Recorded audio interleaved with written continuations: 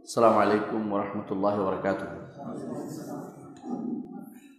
الحمد لله رب العالمين والصلاة والسلام على أشرف الأنبياء والمرسلين نبينا محمد وعلى آله وأصحابه أجمعين وبعد আজকের যারা এখানে উপস্থিত হয়েছেন মুসল্লিগণ সবাইকে শুভেচ্ছা জানিয়ে আজকের কথা শুরু করছি আমরা এই ইউনিভার্সিটির টিচার হিসাবে যেটা করি, ছাত্র পড়ানোর মতো পড়াবো। আপনাদের অনেকে যারা ওয়াজ করতে পারে এবং পারি না, আমি সবাইকে যেটা বলতে, একটু বলে যাব, শুনলে ইনশাল্লাহ উপকৃত হতে পারবেন। খুব ওয়াজের যে সিস্টেম সেটা হবে না, হয়তো অনেকের মন ভরবে না, কিন্তু জিনিসগুলো যদি কোনো গুরুত্বপূর্ণ হয়, তাহলে আপনার, আমার যত বেশি গুরুত্ব দিয়ে শুনবেন, এটা বেশি কাজে লাগবে। ওয়াজ একটা আর্ট কোনো সন্দেহ নেই। সবার দ্বারা সব আর্ট সুন্দর হয় না। ওয়াজ একটা আর্ট কিন্তু আমরা শুধু দিনই আলোচনা করতে পারি। ওই আর্টটা পারি না হয়তো। তো আমি আপনাদের কাছে অনুরোধ করব, আসলে কিছু আছে আমাদের স্বাভাবিক আলোচনা, সাধারণ আলোচনা আমরা বলে থাকি।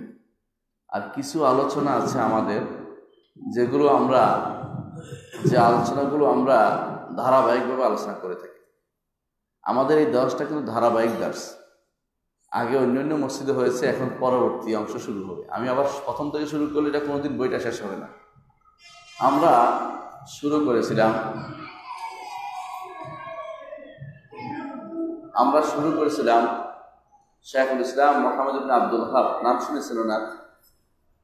শেখুল ইসলাম মোহাম্মদ ইবিন আব্দুল হাব রাহমাহুল্লাহ। তার আমরা শুরু করেছিলাম শেখ ইসলাম মোহাম্মদ আব্দুল হাব রাহমাহুল্লাহ। তার একটা লেখা, একটা গ্রন্থ নিয়ে। যে গ্রন্থটা তিনি এমন জিনিস আলোচনা করেছেন, যেই জিনিসগুলো প্রত্যেকটি প্রত্যেকটি ইমানদার মাত্রায় যে জিনিসগুলো জানতে হবে। প্রত্যেকটি মানুষই জানতে হবে। ইমানদার না প্রত্যেক মানুষই জানতে হবে। সেটা হচ্ছে নাম হচ্ছে আল উসুল সালাজা তিনটি মূলনীতি বলা হয় এটাকে। তিনটি মূলনীতি। এই তিনটি মূলনীতি জানতে হবে আমাদেরকে। কেন? তিনটি মূলনীতি আপনার দুনিয়াতে আমল করলে, কবরে গেলে এই তিনটির উত্তর আপনি দিতে পারবেন। এই তিনটি প্রশ্ন আপনার পরবর্তী জীবনের শুরুতে এই তিনটি প্রশ্ন আপনাকে করা হবে। পরবর্তী জীবনের শুরুতে। ইমানদারের জীবন দুইটা। একটা হচ্ছে দুনিয়ার জীবন একটা হচ্ছে একটি হচ্ছে দুনিয়ার জীবন, একটি হচ্ছে আখেরাতের জীবন। দুইটা জীবন ইমানদারের রয়েছে। যারা বলে জীবন তো শুধু একটাই, তারা মিথ্যা কথা বলে। জীবন দুইটা। একটা হচ্ছে দুনিয়ার জীবন, একটা হচ্ছে আখরাতের জীবন। যারা দুনিয়ার জীবনকেই সব কিছু ভেবে বসেছে, তারা সব কিছু খুইয়ে বসেছে। জীবনে সব শেষ করে দিয়েছে, নিঃশেষ করে দিয়েছে।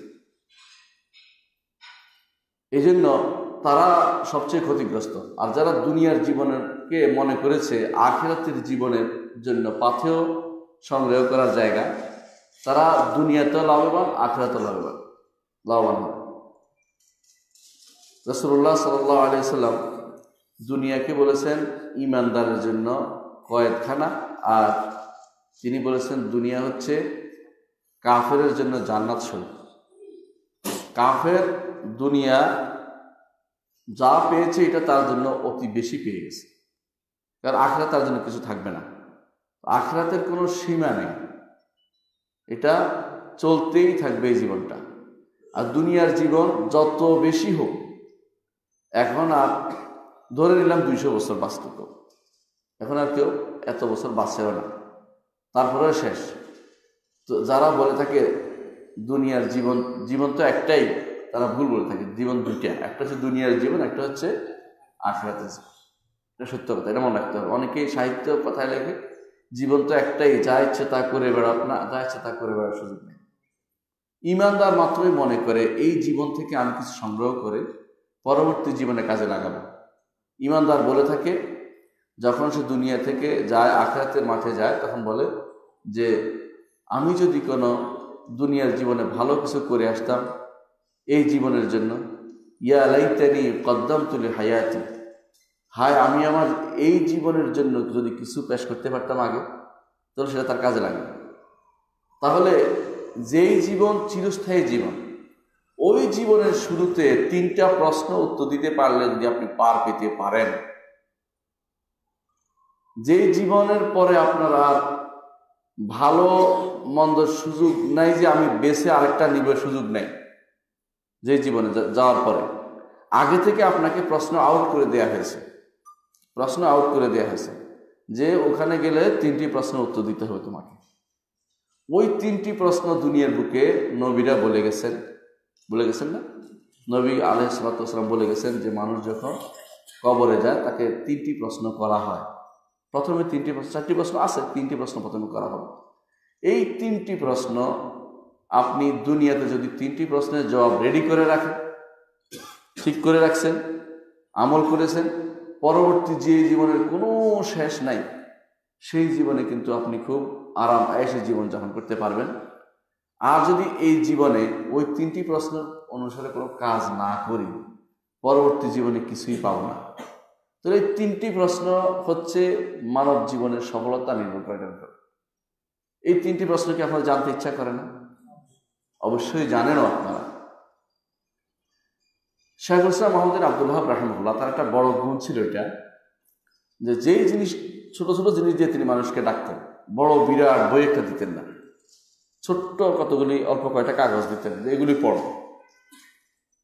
এটা হচ্ছে রাব্বানিদের ভূমিকা রাব্বানি গিন রাব্বানি আমরা বুঝি সাধারণত আল্লাহওয়ালা রাব্বানি অর্থ আল্লাহওয়ালা না। রব্বানি অর্থ হচ্ছে যারা কান্ডারি দিনের কান্ডারি দুনিয়ার কান্ডারি যারা কান্ডারি যারা কান্ডারি ওদের গুণ কি? সেটা হচ্ছে ছোট ছোট আইলেম দিয়ে মানুষকে ডাকে। আপনাকে যদি ফথর বাড়ি খুলে দেয়া, বুঝে আসছে? আপনাকে যদি কোনো ইমাম নবীর সরা, সরে মুসলিম খুলে হয় আপনি ভয় পেয়ে পড়তে পারবেন না। এটা আমার পড়ার জায়গা। না এত কঠিন জিনিস পড়ব না। শেখুল ইসলাম মাহমুদিন আবদুল্লাহ রহমুল্লাহ এই জন্য বড় বড় বই লেখেন ছোট ছোট বই লিখছেন।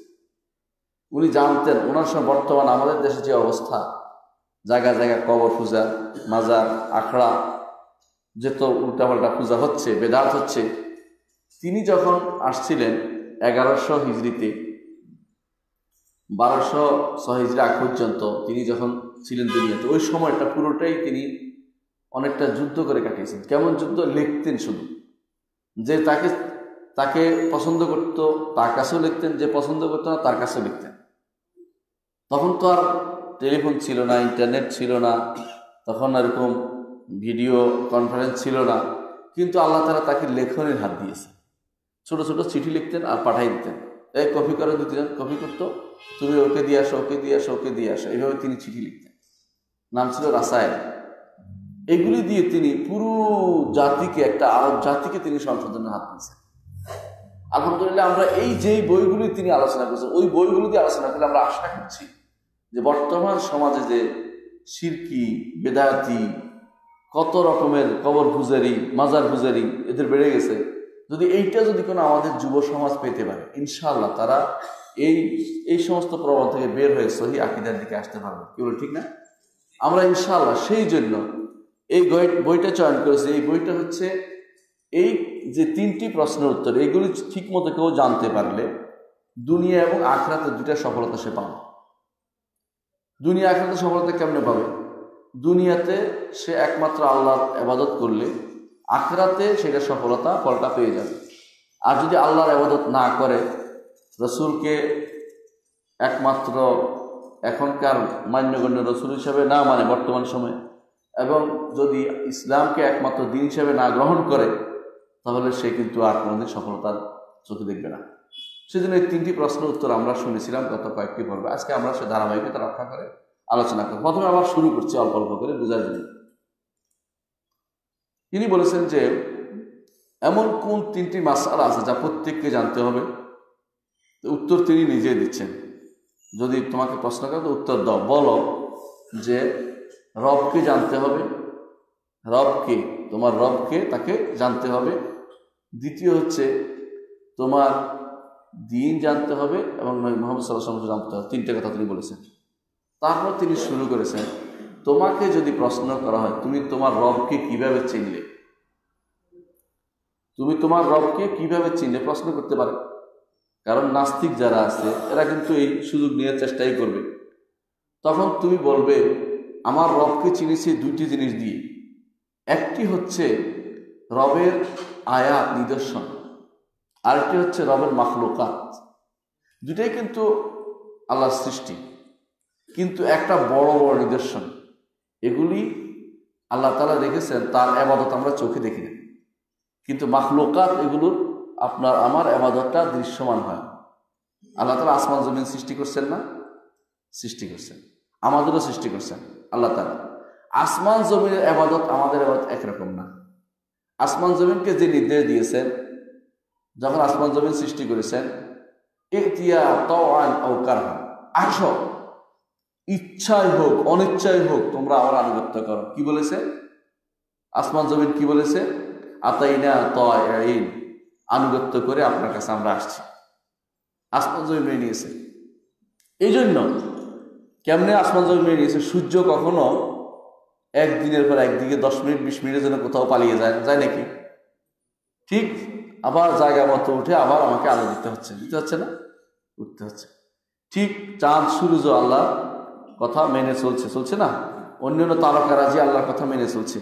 এই জন্য মানুষ বুঝতে পারে যে অমুক তারকা অমুক জায়গায় আসছে, রাতের এতটা বাচ্চে বুঝেন অনেকেই গ্রামের মহিলারা বুঝতে পারে রাতে এতটা বাচ্চে যে আল্লাহ তারকা, আল্লাহ তালার বিশেষ নির্দেশন সুতরাং এখানে কোনো রকম হেরফের হচ্ছে না। হেরফের হচ্ছে না।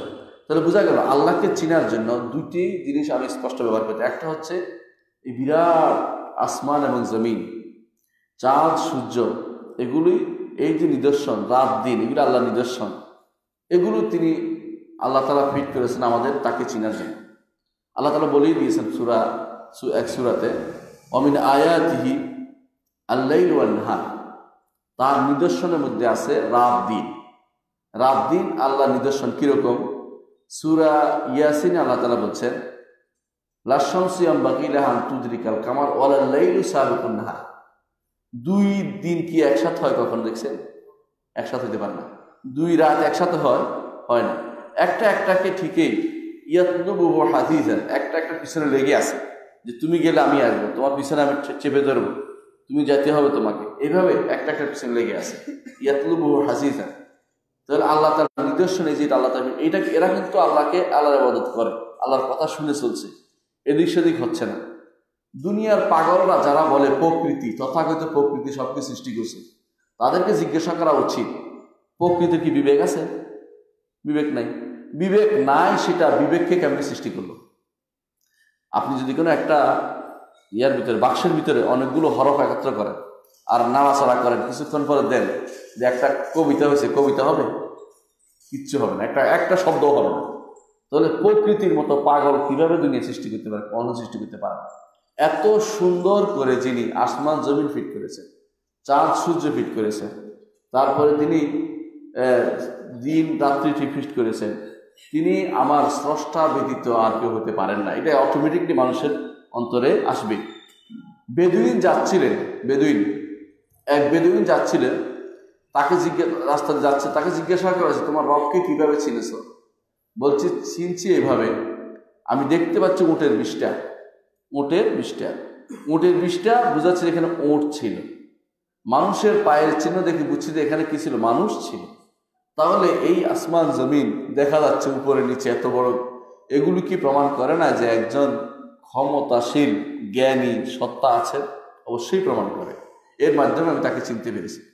তো আল্লাহকে চিনার জন্য প্রথম যে জিনিসটা ব্যবহার করতে হবে তাহলে আল্লাহ আয়া নিদর্শনগুলি ব্যবহার করতে হবে। আল্লাহকে চিনার জন্য দ্বিতীয় জিনিসটা ব্যবহার করেছে, আল্লাহ তা নিজে বলেছেন সেটা হচ্ছে আল্লাহর মাখলুকাত, সৃষ্টিকুল। সৃষ্টিকুল। সৃষ্টিকুল কি? আমরা আগে আলোচনা করেছি যে আবার বলছি এই সৃষ্টি, আল্লাহ তালা বলছেন, আল্লাহ তালা বলছেন যে তিনি আসমান, জমিন সব কিছু সৃষ্টি করেছেন, আল্লাহ বলেছেন। ইন্না রব্বাকুমুল্লাহ খালাকাস সামাওয়াত। আসমান, জমিন তিনি সৃষ্টি করেছেন। পিসিতে তা ইয়ামিন ছয় দিন আচ্ছা তিনি কেউ তো বলতে পারে আমি সৃষ্টি করছি বলতে পারে না। মিথ্যা কথা, কারণ সে তো ছিল না, আসমান তো আগেও ছিল, ঠিক না? তাহলে তার দাবিটা গ্রহণযোগ্য হলো না। কেউ বলতে পারে সৃষ্ট না তোমার তাহলে কি, স্রষ্টা তুমি? সেও ভুল বলবে। তাহলে বোঝা গেল, যেই আসমান এবং জমিন, মানুষ, এগুলি কি সৃষ্টি না? সৃষ্টি। এগুলি নিজে নিজেকে সৃষ্টি করে নাই। নিজে নিজেকে সৃষ্টি করে না দুইটা জিনিস হতে পারে। নিজে নিজেকে সৃষ্টি করেছে, না হলে কেউ তাকে সৃষ্টি করেছে, না হলে এগুলো অস্তিত্ব নাই। অস্তিত্ব থাকার অর্থ হচ্ছে যে এগুলি কি? সৃষ্টি হয়ে আছে।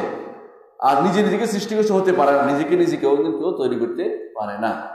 দুই নম্বর, তিন নম্বর হচ্ছে, এটা বলতে পারে যে আমাকে কেউ সৃষ্টি করে এটা ভুল কথা, কেউ সৃষ্টিটা করেছে। অথবা এটা বলতে পারে যে, আমি আসি, এটা ঠিক না, কারণ হচ্ছে আসমান, জমিন কি হয়? অবস্থার পরিবর্তন হচ্ছে, কখনো বৃষ্টি হচ্ছে, কখনো এই হচ্ছে, কখনো অপরিবর্তন হচ্ছে। এত পরিবর্তনশীল জিনিস, এটা নিজে ইলা হতে পারেন না। তাহলে বোঝা গেল যে কেউ না কেউ তাকে সৃষ্টি করেছে। এটা আল্লাহ তালা কোরআনে কারিমে সুরা তুরের মধ্যে উল্লেখ করেছেন। আম খুলুকু মিন গাইরি শাইইন, আম হুমুল খালিকুন, আম খালাকুস সামাওয়াতি ওয়াল আরদি বাল লা ইউকিনুন আম খুলুকু মিন গাইরি শাইইন, আম হুমুল খালিকুন তারা বলছে, আল্লাহ বলছে, দুইটি জিনিস হতেই হবে। একটা হচ্ছে যে তাদেরকে কেউ সৃষ্টি করেনি। আরেকটা হচ্ছে নিজেদের নিজে সৃষ্টি করেছে। কোনোটাই যদি শুদ্ধ না হয়, তাহলে একটা জিনিস, সেটা কি? আল্লাহ তালা তাদের সৃষ্টি করেছে। সৃষ্টি দিয়ে স্রষ্টার অস্তিত্ব প্রমাণ করার চেয়ে সুন্দর দলিল আর কিছু হতে পারে না।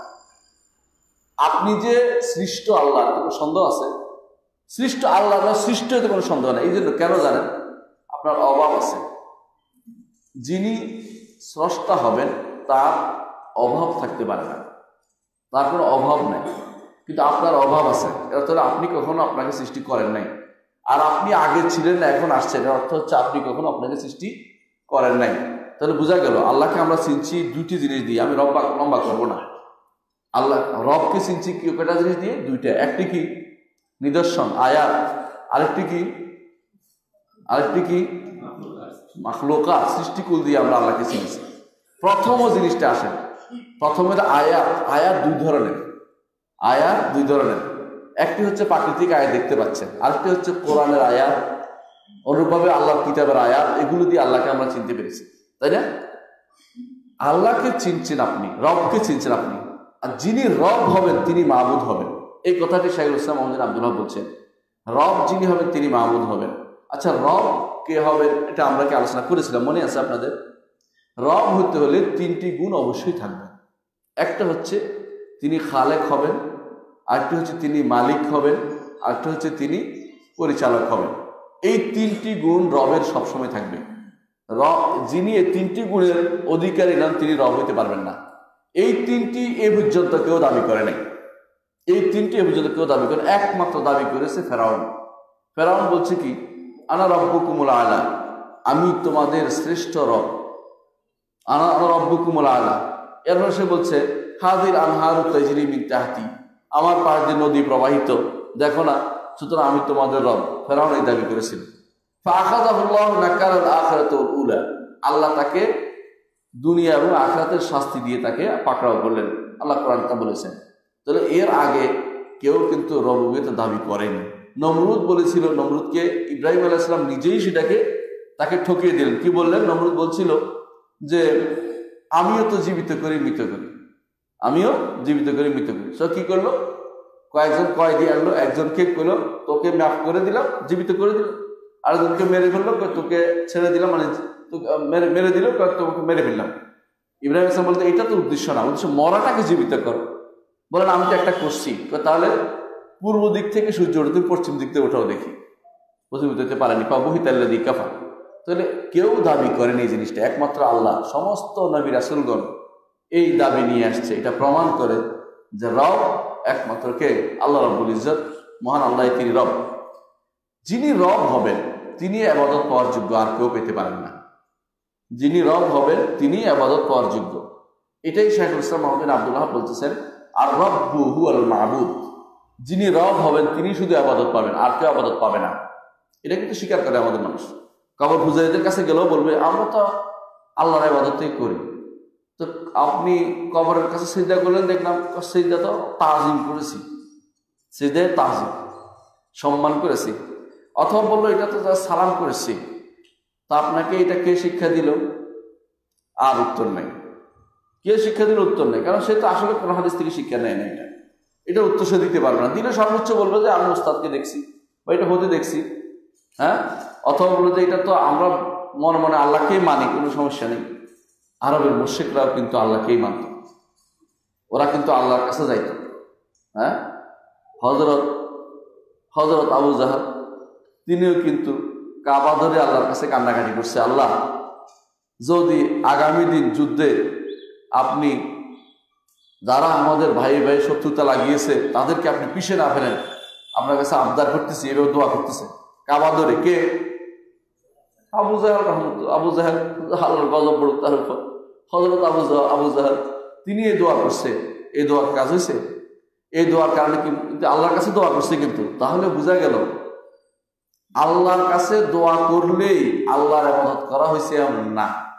তারা কিন্তু শিরিক করেছে।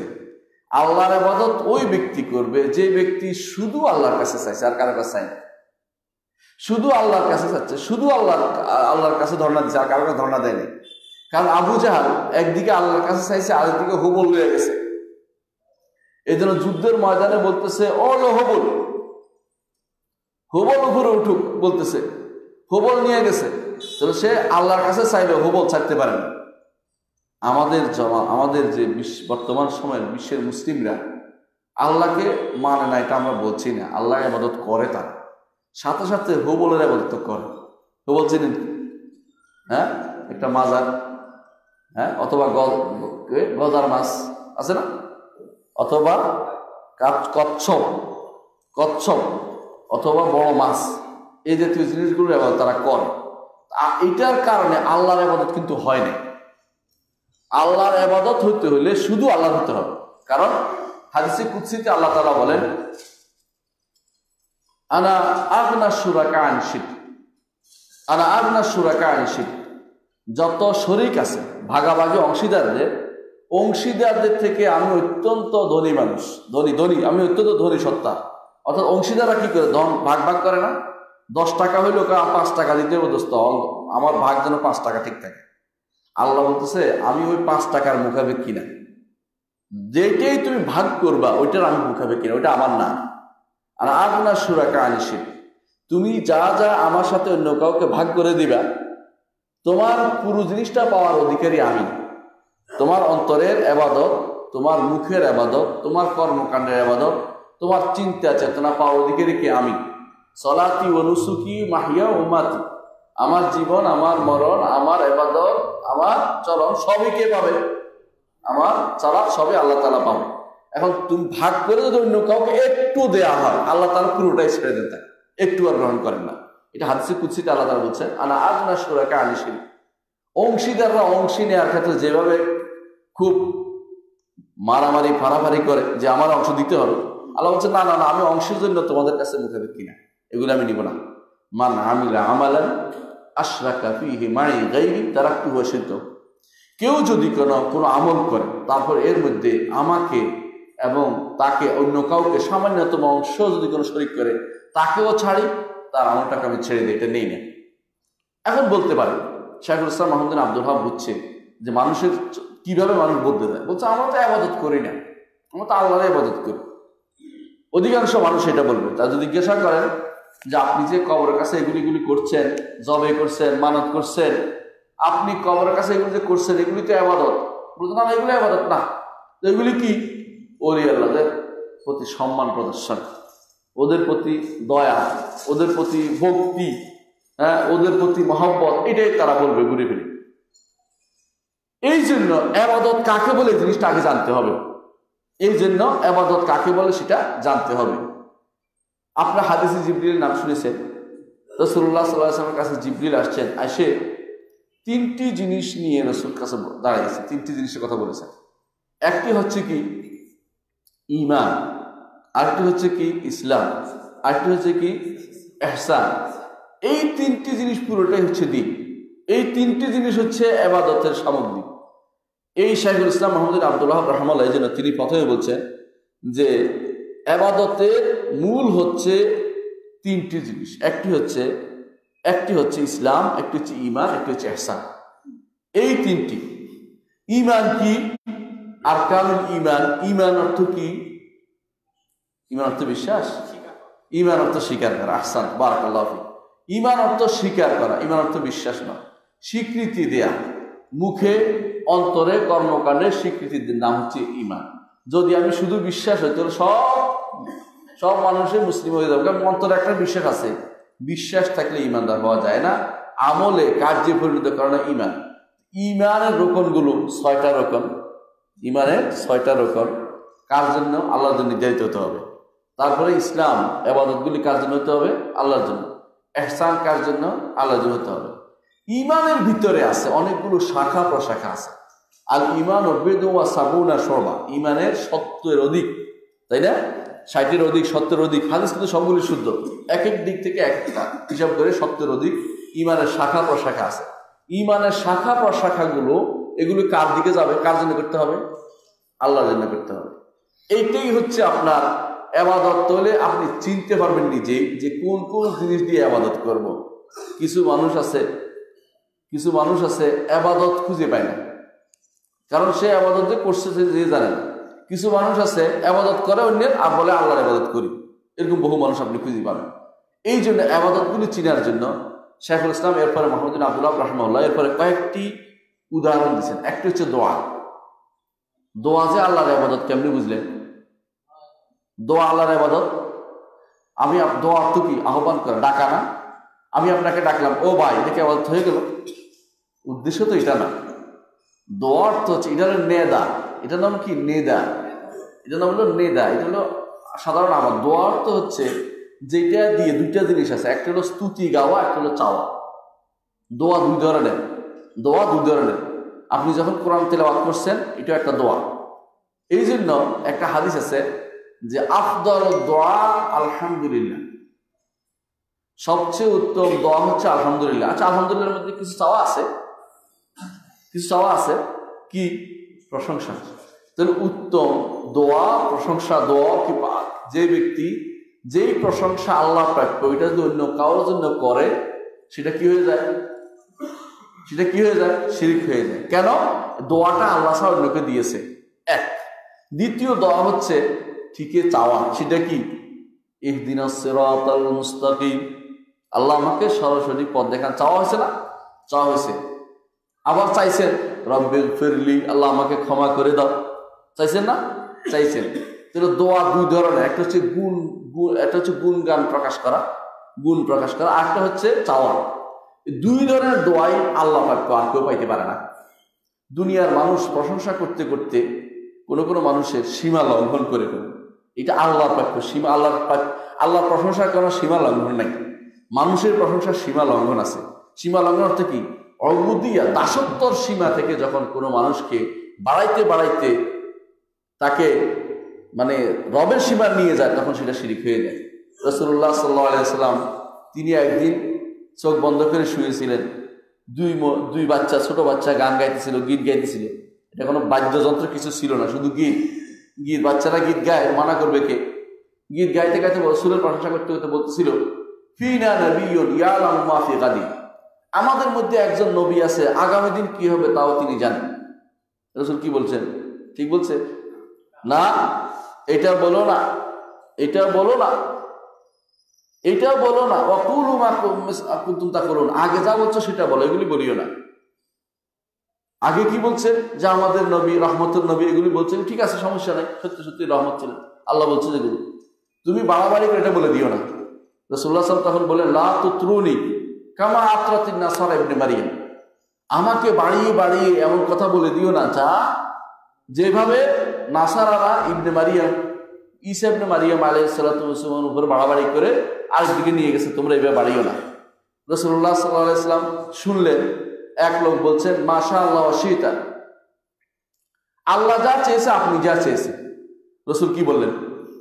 আজহাল তালিল্লাহ নিদ্যা তুমি কি আল্লাহর সাথে আমাকে শরিক করে ফেললে? তুমি কি আল্লাহর সাথে আমাকে শরিক করে ফেললে? কুল মাশা আল্লাহ ওয়াহদা। বড় একমাত্র আল্লাহ যা চেয়েছেন। রসুলের চাওয়ার কোনো মূল্য নাই। আল্লাহ না চাইলে এটা হবে না। ওমা তাশাউলা ইল্লা ইয়াশা আল্লাহ রব্বুল আলমী দুনিয়ার সমস্ত সৃষ্টিকুল চাইল আল্লাহ চাইলেন না, এটা কি হবে? হবে না। প্রমাণ দেখবেন রসুল্লাহ সাল্লাম একদিন মসজিদে গেলেন। সই হাদিসে আছে। মসজিদে সিট দেয়া পড়লেন, লম্বা। মদিনাতে যারা যাবেন মসজিদে এজাবা নামে একটা মসজিদ আছে।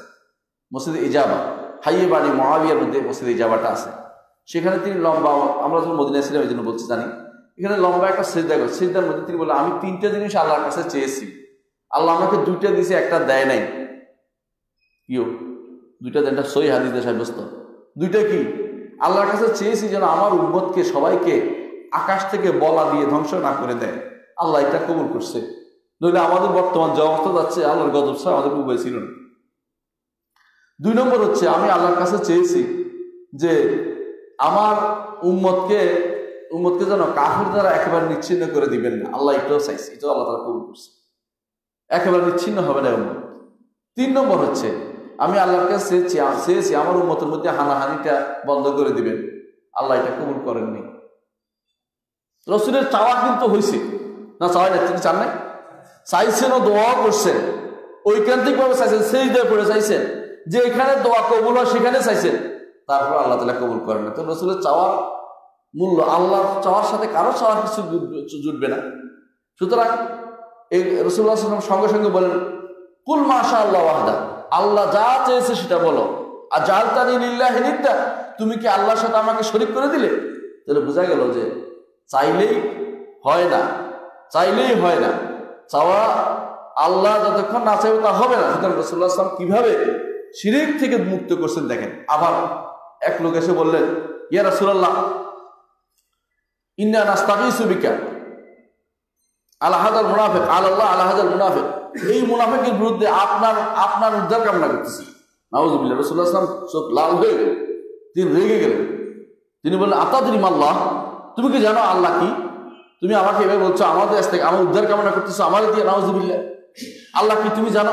আসমান, জমিন সবে তার মুষ্টির ভিতরে। আমি কে? তুমি জানো আসমান আল্লাহকে তুমি কীভাবে এটা বলতে পারলে? ইল্লা আল্লাহ তো কারও কাছে আশ্রয় চাওয়ার কোনো সুযোগ নেই। উদ্ধার কামনা করার সুযোগ নেই। আল্লাহর কাছে চাইতে হবে যত কিছু আল্লাহর কাছে, আমার কাছে না। আমারে দিয়ে না। বরং আল্লাহর কাছে সরাসরি উদ্ধার কামনা চাও। এটা রসুল্লাহ সাল্লাম হাদিস। রসুল্লাহ সাল্লাহ আলাইসাল্লাম তার রসুল্লাহ সাল্লাহ আসলাম এই জন্য তিনি যা এইভাবে রসুল্লাহ সাল্লাম যখনই তিনি দেখেছেন যে তার ব্যাপারে বাড়াবাড়ি হচ্ছে, তখনই সঙ্গে সঙ্গে বলেছে, না, বাড়াবাড়ি করা যাবে না। নিষিদ্ধ করে দিয়েছে। তাহলে দেখা গেছে, এবাদত, দোয়া দোয়া দুই ধরনের আছে, যেটা হলো চাওয়া হলো প্রশংসা। চাওয়া এবং প্রশংসা উভয় প্রকার দোয়াই কার জন্য নির্ধারিত? আল্লাহর জন্য। আমরা অনেক সময় বেশি চাই, কিন্তু যারা ভালো মানুষ, চাওয়ার চেয়ে তারা বেশি বেশি কি করে? আল্লাহর প্রশংসা করে। প্রশংসাটাই তাদের চাওয়ার মর্যাদায় চলে যায়। রসুল্লাহ আসলাম সই হাদিসে আসে, তিনি বলেছেন কারও কেউ যদি আমার প্রশংসায় লিপ্ত থাকার কারণে চাইতে পারে না, তাকে আমি চাওয়ার চেয়ে বেশি দান করি। তাহলে প্রশংসা বেশি করা দরকার। এই জন্য রসুল্লাহ হাদিস আপনি জানেন উবের নে কাবাদ আল্লাহ বলছেন, ইয়া রসুল্লাহ আমি আপনার কত, আপনার আপনার প্রতি কত বেশি সলাত আদায় করব? সলাত আদায় করব আল্লাহ সাল্লাহ আল্লাহ মাহমুদ কার কাছে আছে? আল্লাহর কাছে। আল্লাহ আপনি রসুলকে উত্তম রূপে স্মরণ করুন। এখানে সালাত উত্তম রূপে স্মরণ করা। সালাত দোয়া, রহমত এগুলি কিছুই না। এবং বুখারি রহমতুল্লাহ বর্ণনা অনুসারে উত্তম রূপে স্মরণ করা। আল্লাহ আপনি মোহাম্মদ সাল্লাহ সাল্লামকে উত্তমভাবে স্মরণ করুন। এটা হচ্ছে, অর্থাৎ প্রশংসার সাথে স্মরণ করুন। এটা হচ্ছে সালাতের অর্থ। এটা বলার পরে রসুল্লাহ সাহেব কি বললেন? কত কত সুদ সালাদ পাঠ করো, বলছে, তুমি যা ইচ্ছে। বলছে অর্ধেক কোনো সমস্যা নাই। বলছে, তাহলে ফুল পড়ব করে ফুল কোনো সমস্যা নাই। যদি তুমি সব সময় আমার উপর সালাদ পেশ করতে থাকো, তাহলে আল্লাহ তোমার যাবতীয় দুশ্চিন্তা থেকে তোমাকে মুক্তি দিবেন সই হাদিসতে দুশ্চিন্তা থেকে মুক্তি দিবেন কি জন্য? কি করছে? আল্লাহর কাছে কিন্তু চেয়ে বসছে। কিছু চায় না, শুধু সালাত আদায়। কি বলতেছে? আল্লাহ সাল্লাহ আল্লাহ মাহমুদ আল্লাহ সাল্লাহ মাহমুদ করতেছে। আল্লাহ সাল্লাহ মাহমুদ আল্লাহ আলী মাহমুদ সুর কি? সালাত ইব্রাহিম করতেছে এখানে কিছু চাওয়া আছে, নিজের কিছু আছে, নিজের কিছু নাই। সেটাতে খুশি হয়ে আল্লাহ তাকে দুশ্চিন্তা থেকে মুক্ত করে দিবেন। দুশ্চিন্তা মুক্ত করে দিবেন। তাহলে দেখেন, চাওয়ার চেয়েও মানে জিনিস চাওয়ার চেয়েও প্রশংসার মাধ্যমে আরও বেশি পাওয়া যেতে পারে। উভয় প্রকার এবাদত, উভয় প্রকারটাই একমাত্র আল্লাহর এবাদত। দলিল, প্রমাণ কি? অমিল্লা সামাইয়াদু মিন দুনিল্লাহ মা লা ইয়াস্তাজিবু লা ইলা ইয়াউমিল কিয়ামা ওহুম আন দুআইহিম গাফিলুন, ওয়া ইযা খুশিয়া নাসু কানু বিইবাদাতিহিম কাফিরিন। আল্লাহ তাআলা কোরআনে কারীম বলেছে, মানুষের মধ্যে কিছু মানুষ আছে, তারা আল্লাহ ছাড়া অনেককে আহ্বান করে। দেখবেন, একা আয়াতের তফসিল আর এক আয়াত পর পরে করতেছে যখন কেয়ামতের দিন হবে, তখন তাদের জিজ্ঞাসা করা হবে, এদের কি, এরা কি করেছিল? আমাদের আবাদত করে নাই। আগের রাতে কি ছিল? ডাকা। পরের রাতে কিছু আবাদত। তাহলে ডাকাটা হচ্ছে কি? আবাদত আল্লাহর আয়াত দ্বারা প্রতিষ্ঠিত আল্লাহ কোরআনে করিমের আয়াত দ্বারা প্রতিষ্ঠিত হয়েছে। ডাকাটা, এই ধরনের ডাকাটা কি? আবাদত ডাকাটা কি আবাদত যারা ডাকে, ইয়া গাউস ডাকে না? শোনেন না আপনারা? ইয়া গাউস আগে শ্রীবতে থাকে। ইয়া গাউস বলতে তারা কি আল্লাহকে যদি বুঝাইছে? তা আলহামদুলিল্লাহ। বেশিরভাগ মানুষেই গাউসে পাক লেখে। বিশ্বাস করেন আপনি? আজকে গাড়িতে আসার সময়, সকালবেলা, আমার সাথে ছিল বোধহয় শিমুল। দেখলাম এক গাড়িতে লেখা আছে, গাউসে পাকের নামে চললাম। গাড়ির সামনে দিয়ে লেখা। উনি কি আল্লাহকে বুঝাইছে? আল্লাহকে বুঝাই নেই নিঃসন্দেহে কোনো একজন ব্যক্তিকে বুঝাইছে, তার সম্পর্কে আপনারা জানেন। যথাগতিত ব্যক্তি। উনার নামে তিনি চলেছে গাড়ির সামনে দিয়ে লিখে দিয়েছে। আপনি মনে করেন না কত বড় শিরিক করেছে? তোকে তুমি কি আল্লাহকে ডাকছে? না, তিনি ডাকছে অন্য কাউকে, নিঃসন্দেহে। অথচ তিনি দাবি করলে বলল, আমি তো মুসলমান, মুসলমানের ছেলে। তিনি বলল, আমি মুসলিম আমি মুসলিম। কেন? আমি এই করেছি সে করেছি। আমার বাবা আমার সদ্য গোষ্ঠী মুসলিম, কিন্তু এরা কি আসলে ইমানের উপর আছে? ঢাকাতে এমন বহু মসজিদ আছে, আমি দেখেছি। একটা নাম হলো গাউসুল গাউসুল আজম মসজিদ। একটা রাস্তার নাম হচ্ছে গাউসুল আজম সরণি। এরা কি আল্লাহকে বুঝেছে কখনো না আল্লাহকে বুঝায় নাই। এ যারা বিশ্বাস করে যাদের এই অবস্থা। এরা কিন্তু হাতে গোনা মানুষ নয়, এরা কিন্তু হাজারে হাজারে, কাতারে কাতারে। এদের সংখ্যা অনেক বেশি। এই মানুষগুলোকে দিনের দিকে কারা আহ্বান করবে?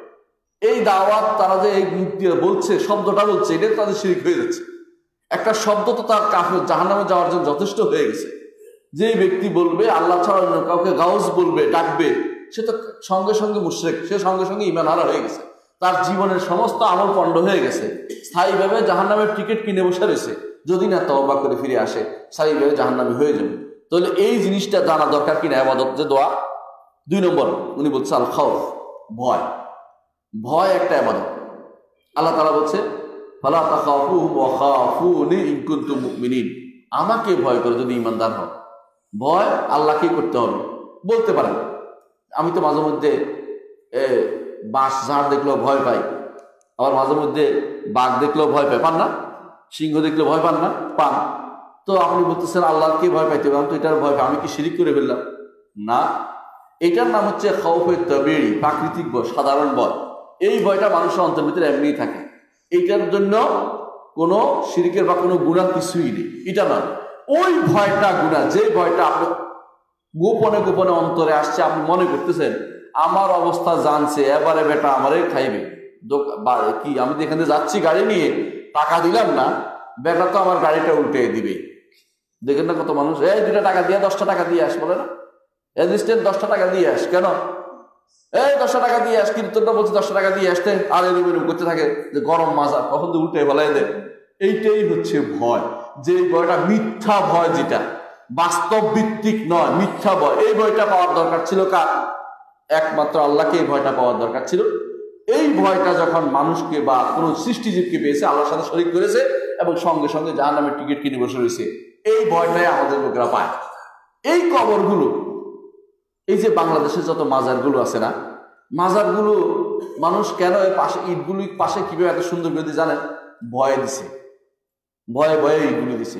আপনি যদি বলেন যে একটা একটা ইট খুলে ফেলো, কি করবে জানেন? খুব অসম্ভব। একটা ইট খুলে তোর বাড়িতে সব মরে যাবে। এই যে ভয়টা করতেছে, বিশ্বাস করেন, এটা সিরিকি বল আর কিছু না যে ব্যক্তি মনে করবে যে ইট খুলে ফেললে মরে যাবে মানুষ, বা এখানে কবরে কিছু সরাই ফেললে মানুষ মরে যাবে, এই বেটা সিরকি ভয়ের মধ্যে আছে। কারণ আরব দেশে শাইখুল ইসলাম মোহাম্মদ আব্দুল রহাব যখন আস আল্লাহ তাকে পাঠিয়েছিলেন, এই আপনারা এখন হজ করছেন কে? একজন, দুজন আছেন কে হজ করছেন? হজ করছেন কেউ আছেন? যাননি গেছেন? এই তো মাসাল্লাহ আপনারা দেখছেন কিনা যে এখন বাকিতে কোনো ঘর টর নাই, আছে? ও তখনকার সময় প্রত্যেকটি কবরের উপরে একটা উঁচু লম্বাইয়া ছিল, ঘর ছিল। আর এই ঘরের ভিতরে টাকা দিত একজনে গুড় করতো একজনে টাকা দিতে বলছে, তোমার ইয়া হয়েছে তোমার মনস্কামনা পূর্ণ হওয়ার জন্য ব্যবস্থাপনা করে রাখা হয়েছে একেবারে পুরো মাজার মানে মাজার কাকে বলে? সবগুলি মাজার করে ফেলছে শেখুল ইসলাম মোহাম্মদিন আব্দুল হাব আসার পরে, তারপরে যখন এই আল্লাহ তালা এই সৌদি সরকারকে দিলেন এখানে, তারা কি করল? ইটগুলি খুলে নিল। একটা তো মরে নাই। একটা তো মরে নাই। ঘটনা জানেন, একটা সুন্দর ঘটনা আছে। মানাতের যে ঘটনা, মানাতের ঘটনা জানেন মানাত যখন ছিল মানাত হ্যাঁ? লাত, মানাত রজ্জা তো লাত, মানাত রজ্জা এগুলো এমন আবাদত করতো, এগুলির ভিতরে শয়তান বাস করতো। তো মানুষের ভিতরে মাঝে মধ্যে এগুলি ভয় দেখাতো, আবার কিছু কাজ মানুষ মনস্কামনা পূরণ করতো, মাঝে মধ্যে এগুলি নাড়াছাড়া করতো, মূর্তিগুলো। তো বলতো যে এগুলি নড়ে, আসলে শয়তান কিন্তু নাড়াচ্ছিল। তো রসুল্লাহ সাল্লাহ এক সাহাবিকে পাঠালেন যে, এগুলি ভেঙে আসো, মানাতকে ভেঙে আসো। সাহাবিদি যাইয়া কয়েকদিনকে হাস হাসি করে একটু। মানাতের মধ্যে নাড়া দিছে, আর ভিতর থেকে শব্দ আসছে, আর উনি ভয়ে পিছন দিকে দৌড় দিছে।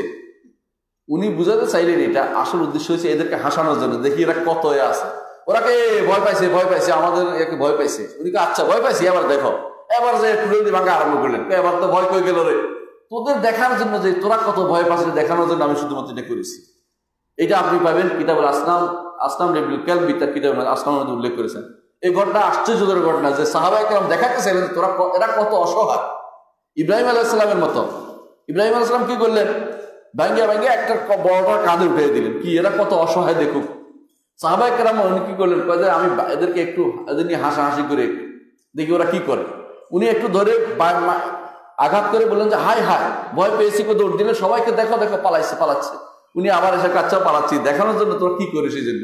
একটা একটা করে ভাঙি গুঁড়ো করে দিলেন। গাছগুলি গুঁড়া করে দিলেন সবগুলো যেগুলো ছিল বড় বড় সব শেষ করে দিলেন। নিঃশেষ করে দেওয়ার পরে এক তারপর তিনি গিয়েছিলেন। এটা প্রমাণ করল যে তিনি দেখাই দিলেন যে সাহাবা একরাম যে এগুলির আসলে কোনো ক্ষমতা নাই।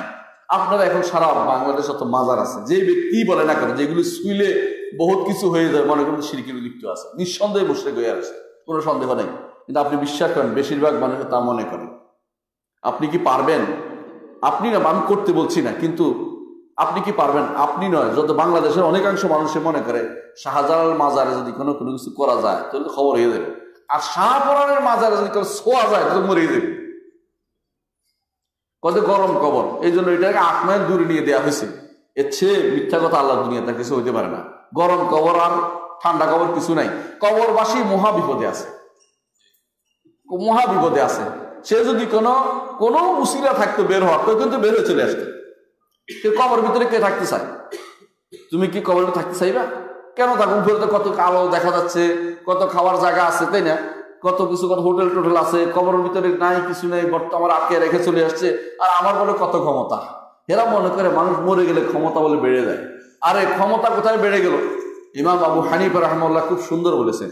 তিনি বলেছেন, মরা মানুষ, মরা মানুষের কাছে কোনো কিছু চাওয়ার অর্থ হচ্ছে ডুবন্ত মানুষ একটা ডুবন্ত মানুষের কাছে বসছে। নিজে ডুবে রয়েছে আর ডুবন্ত মানুষের কাছে আছে আপনি ডুবে যাচ্ছেন, একজন ডুবন্ত মানুষ ফাইলে ধরেছেন যে আমারে বাঁচাও। হাসিতে আমার ও তো ডুবেই গেছে। ও আপনার বাঁচাবে কি করে?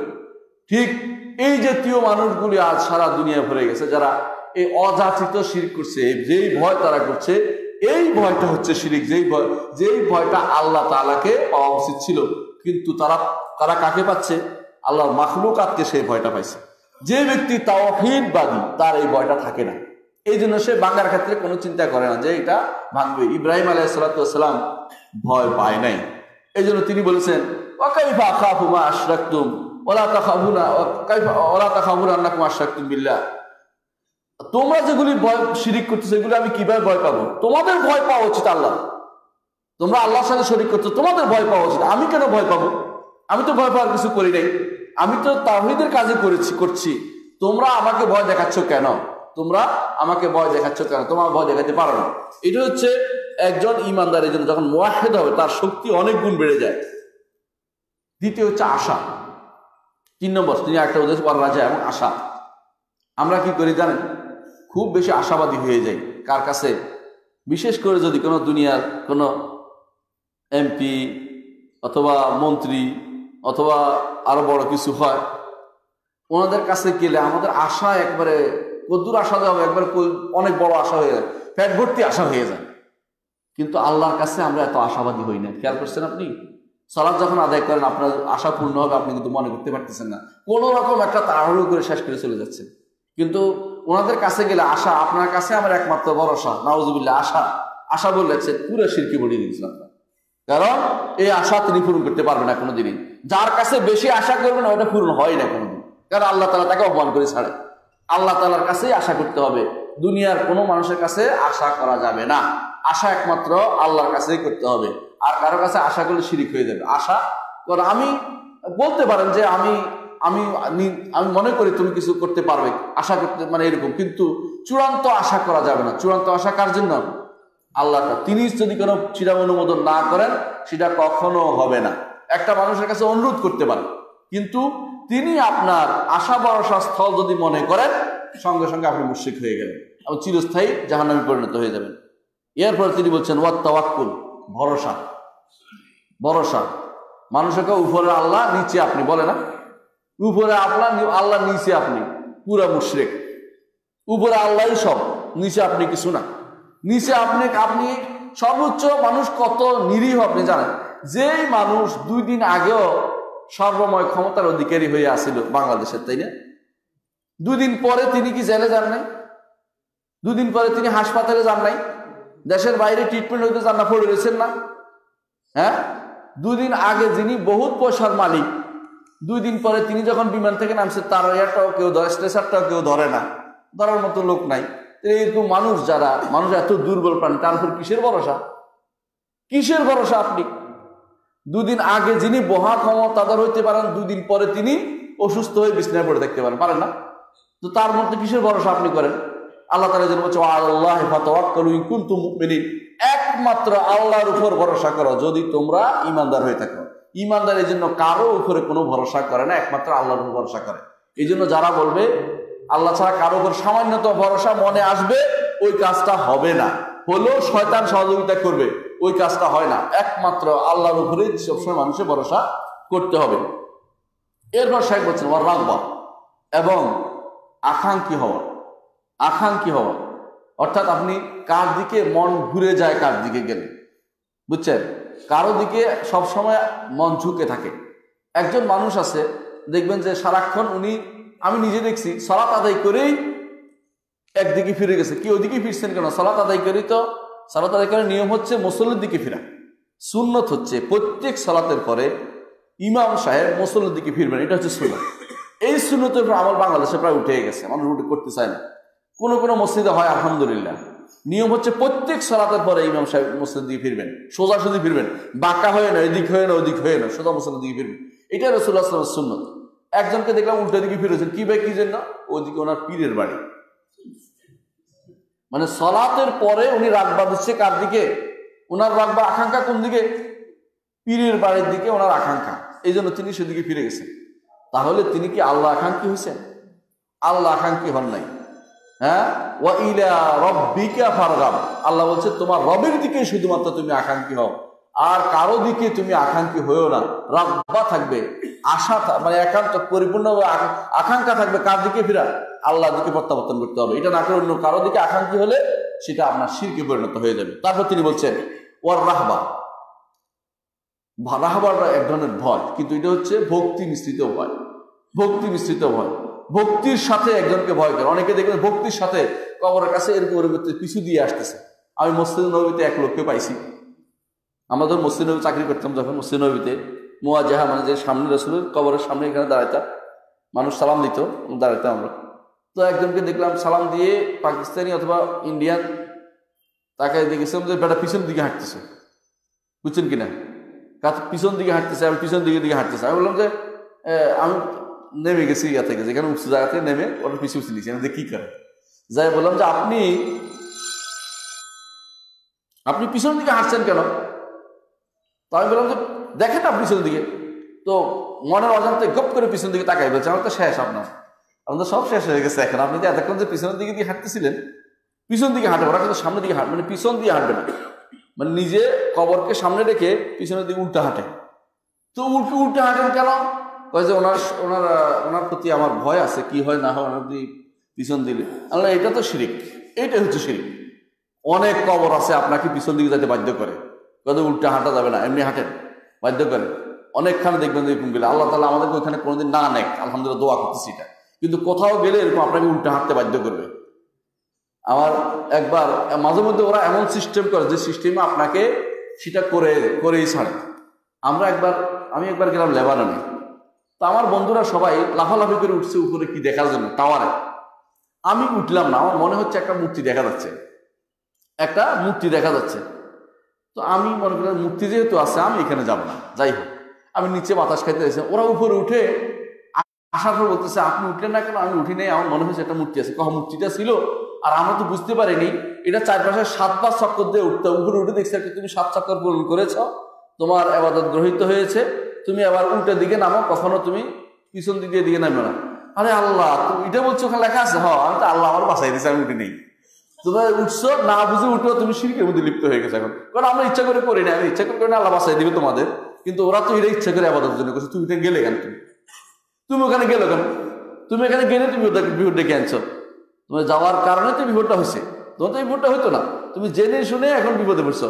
হয়তো আমরা যেটা বুঝতে পারিনি। এরকম কোনো কোনো জায়গায় এইভাবে তৈরি করে।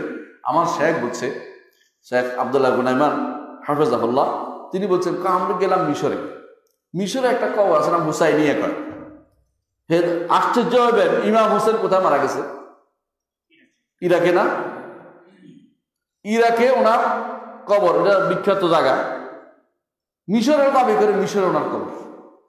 এটা কীরকম জানেন? বাইজিদ মুস্তামের কবর বাংলাদেশে বোধ এরকম আর কি, বুঝছেন তো? বাইজিদ মুস্তামের কবর বাংলাদেশে কেমনে আসলো ভাই? বাইজিদ মুস্তামি কোন দেশের নাগরিক আপনি জানেন? ইরাকে। বাংলাদেশে এই নদী, নালা সব পার হইয়া এত হাজার হাজার মাইল দূরে ওনার কবরটা কেমনে আসলো, এটা কিন্তু জানার বিষয় আছে? কেমনে চলে আসলো এটা? এরকম বহু কবর বানাইতে পারে। ইমাম শাইখ হোসাইন ইবনে তাইমিয়া রহমতুল্লাহ একটা কিতাব লিখছে, রাসুল হোসাইন, হুসাইনের মাথা। হুসাইনের মাথা নিয়ে গন্ডগোল হুসাইনের মাথা কেটে নাকি পাঠাইছিল দামেস্ক। দামেস্ক, রাসুল হুসাইন। এই তো গল্প। যাক কাছে মেনে নিলাম দূর। দামেস্ক থেকে মিশর গেল কি করে? দুটাকে কাছাকাছি নাকি? একটা একটা আরেক রাষ্ট্র। এমন নয় যে এই গ্রাম, ওই গ্রাম, এটা একটা আরেক রাষ্ট্র। সেখানে গেল কি করে মাথা এটা? আচ্ছা উনি বলতেছে, সাহেব বলছে আমি জানতে ইচ্ছে, দেখতে ইচ্ছে হচ্ছিল এটা কি? এটা কি দেখতে ইচ্ছে হচ্ছিল? তো আমি বললাম যে, এটা দেখি। তো উঠো, দেখো, সামনে যাই, দেখো। আমি হাঁটতে হাঁটতে দেখি যে সাত চক্কর হয়ে গেছে। আমি তো বেকুব হয়ে গেছি। কিরে আমি তো চক্কর দেওয়ার উদ্দেশ্য না। কারণ যে যায় সাত করে দিচ্ছে, তোয়াফ কেমনি করা? ইচ্ছা করে। মানুষকে কেমন তোয়াফ করায় যেমন দেখবেন। চিন্তা করে পারবেন না। মুসলিম নবীতে একবার, মুসলিম নবীতে একবার আমরা বসে আছি। এমন সময় একজনকে ধরে নিয়ে আসছে মোতাবেক। কয় যে, এই লোকটা আমি সাতবার দেখছি ঘুরতে, ছয়বার দেখছি ঘুরতে। এই রসুল হাসান কবর চারবার দিয়ে মানুষের ঠেলে ঠেলে ঘুরতেছে। এখন তার কাছে ধরে আনছে পাকিস্তানিটা পাকিস্তানিটা বলতেছে, আর এক চক্কর বাকি হ্যাঁ দোস্ত, আর এক চক্কর বাকি হ্যাঁ বুঝছেন আপনি কথাটা? হ্যাঁ? দোস্ত মানে ছ চক্কর হয়েছে, এক চক্কর বাকি রয়েছে। সাত চক্কর হইলে আমার মনটা মরে। মানে আউজুবিল্লা শিরিক কাকে বলে, কত প্রকার কি? রসুলের কবর ঘিরে সে ছয় চক্কর দিয়ে বলছে, কেমনে কেমনে? ক্যামেরা ধরা গেছে, ওর দেখছে এটা। ক্যামেরা ধরে ধরছে ওর, যে তুই ছয়বার ঘুরলি করো নাকি তোর কারণ কি? তো এ বলতেছে মানে এক চক্কর বাকি দোস্ত, আমার করতেছে যে এক চক্কর বাকি রয়েছে। আমরা তো কি এক চক্কর বাকি? তোর তো বাকি রয়েছে তোর এখন। এক চক্কর তো বাকি রয়েছে না। তোর পিডনটা বাকি রয়েছে। কি এক চক্কর দাও? যে সরকার সরকার, সরকারকে সিলাইতে আছে। বেরোলে বিকুষ্টি আর কি। যে সরকারের স্যারে কার অর্থ হলো সকল কাজের কাজে যিনি, ওইটার একটা সরকার। রসুল্লাহ সাল্লাহামকে সরকার, কায়নাত শুনে নেই বলতো সরকার, এটা বলা যায় না সকল কাজ কাজ নাকি উনি রসুল্লাহ নাকি কে?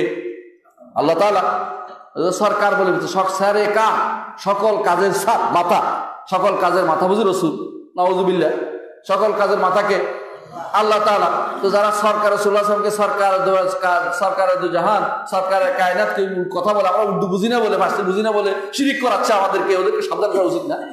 এগুলো বলা যাবে না, বলে না আমি যেটা বুঝি না এটা বলব না। যে শব্দ বুঝি না, এই শব্দ বলব না। সারাক্ষণ দূরত দূরত বলতেছে। দূরত বুঝে নাকি কিছু? দূর অর্থ কি আসলে? কিছুই বুঝি না। তাহলে কেন দূরত বলব? সালাত সালাম বলব, যেটা আরবিতে আসছে। দূরত কেন বলব? এটা বুঝি নাকি এই জাতীয় অনেক কিছু আছে আমাদের দিয়ে বলানো হচ্ছে, আমরা এটা বুঝি না বলে বলে যাচ্ছি। বুঝি না বলে অনেক কিছু বলে যাচ্ছি। এই জাতীয় অনেক শব্দকে আমাদের পরিহার করতে হবে, কারণ এগুলো বাড়াবাড়ি। আল্লাহ রসুল, রসুল্লাহ সাল্লাহ বাড়াবাড়ি করা এটা অবশ্যই জায়েজ নাই।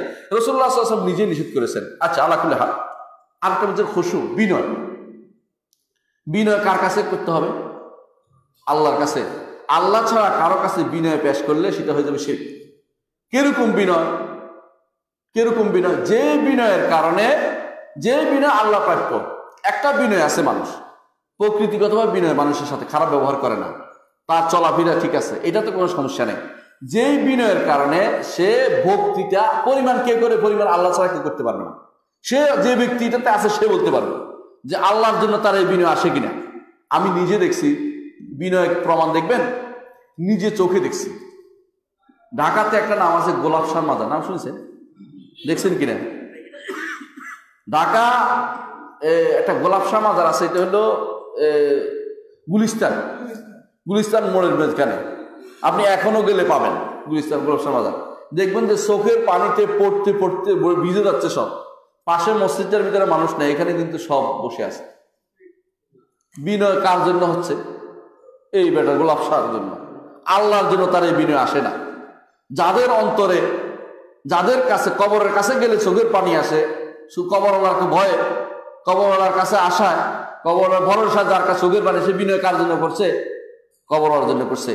আর যে ব্যক্তি মসজিদে গেলে কান্না আসে, সে ব্যক্তি আল্লাহর জন্য বিনয় প্রকাশ করছে। এরা মসজিদে কোনো দিনে যাবে না। এরা শির নিয়ে নিয়ে, তাদের প্লেট নিয়ে, ওইটা নিয়ে ওইটা নিয়ে, ওখানে বসে আছে। আর চোখের পানি ফেলতেছে, অনবরত সিলেতে আছে। এই মানুষগুলো হাই হুতাশ করতেছে হাফিতিস করতেছে। এরা পরিপূর্ণ বিনয় কাকে দিছে? এই কবরওয়ালাকে দিয়েছে। এই কবরওয়ালাকে দিয়ে, মাজারওয়ালাকে দিয়ে তারা শিরিক করতেছে। এই বিনয় চিনতে কোনো কষ্ট হওয়ার কথা নয়। আপনি অনেক ঈশ্বরকে দেখবেন। আঙ্গুল চোষাচ্ছে।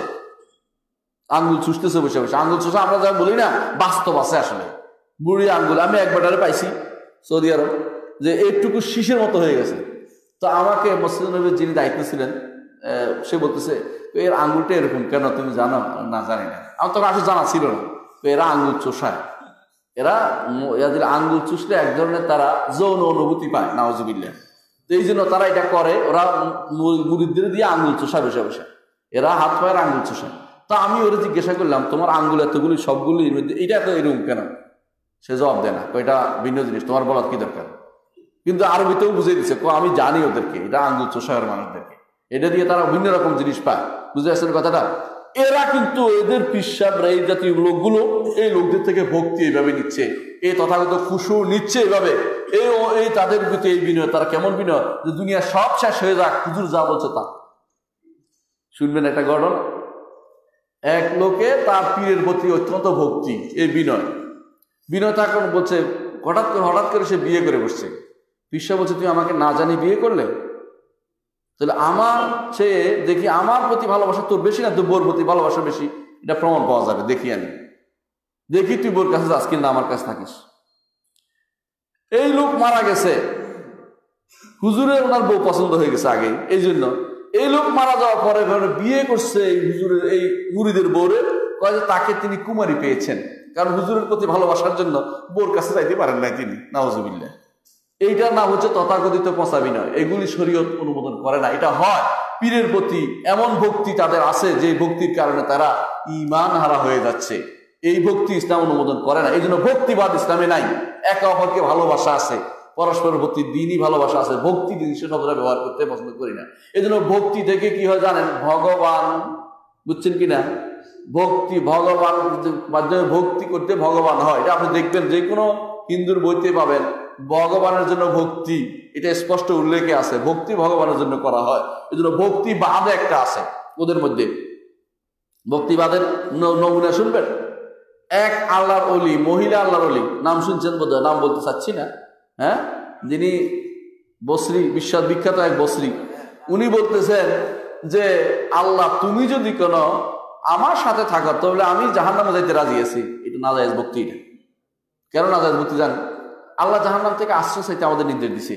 জান্নাত চাইতে নির্দেশ হাদিস আছে রসুল্লাহ সাল্লাম বলেছেন, কেউ যদি কোনো তিনবার আল্লাহর কাছে জাহান্নাম থেকে আশ্রয় চায়, জাহান্নাম বলে, আল্লাহ, ওকে আমার কাছে আর দিও টিও না চাচ্ছে না আর তিনবার যদি কেউ জান্নাত চায়, জান্নাত দাও আল্লাহ, ওকে আমাকে দাও।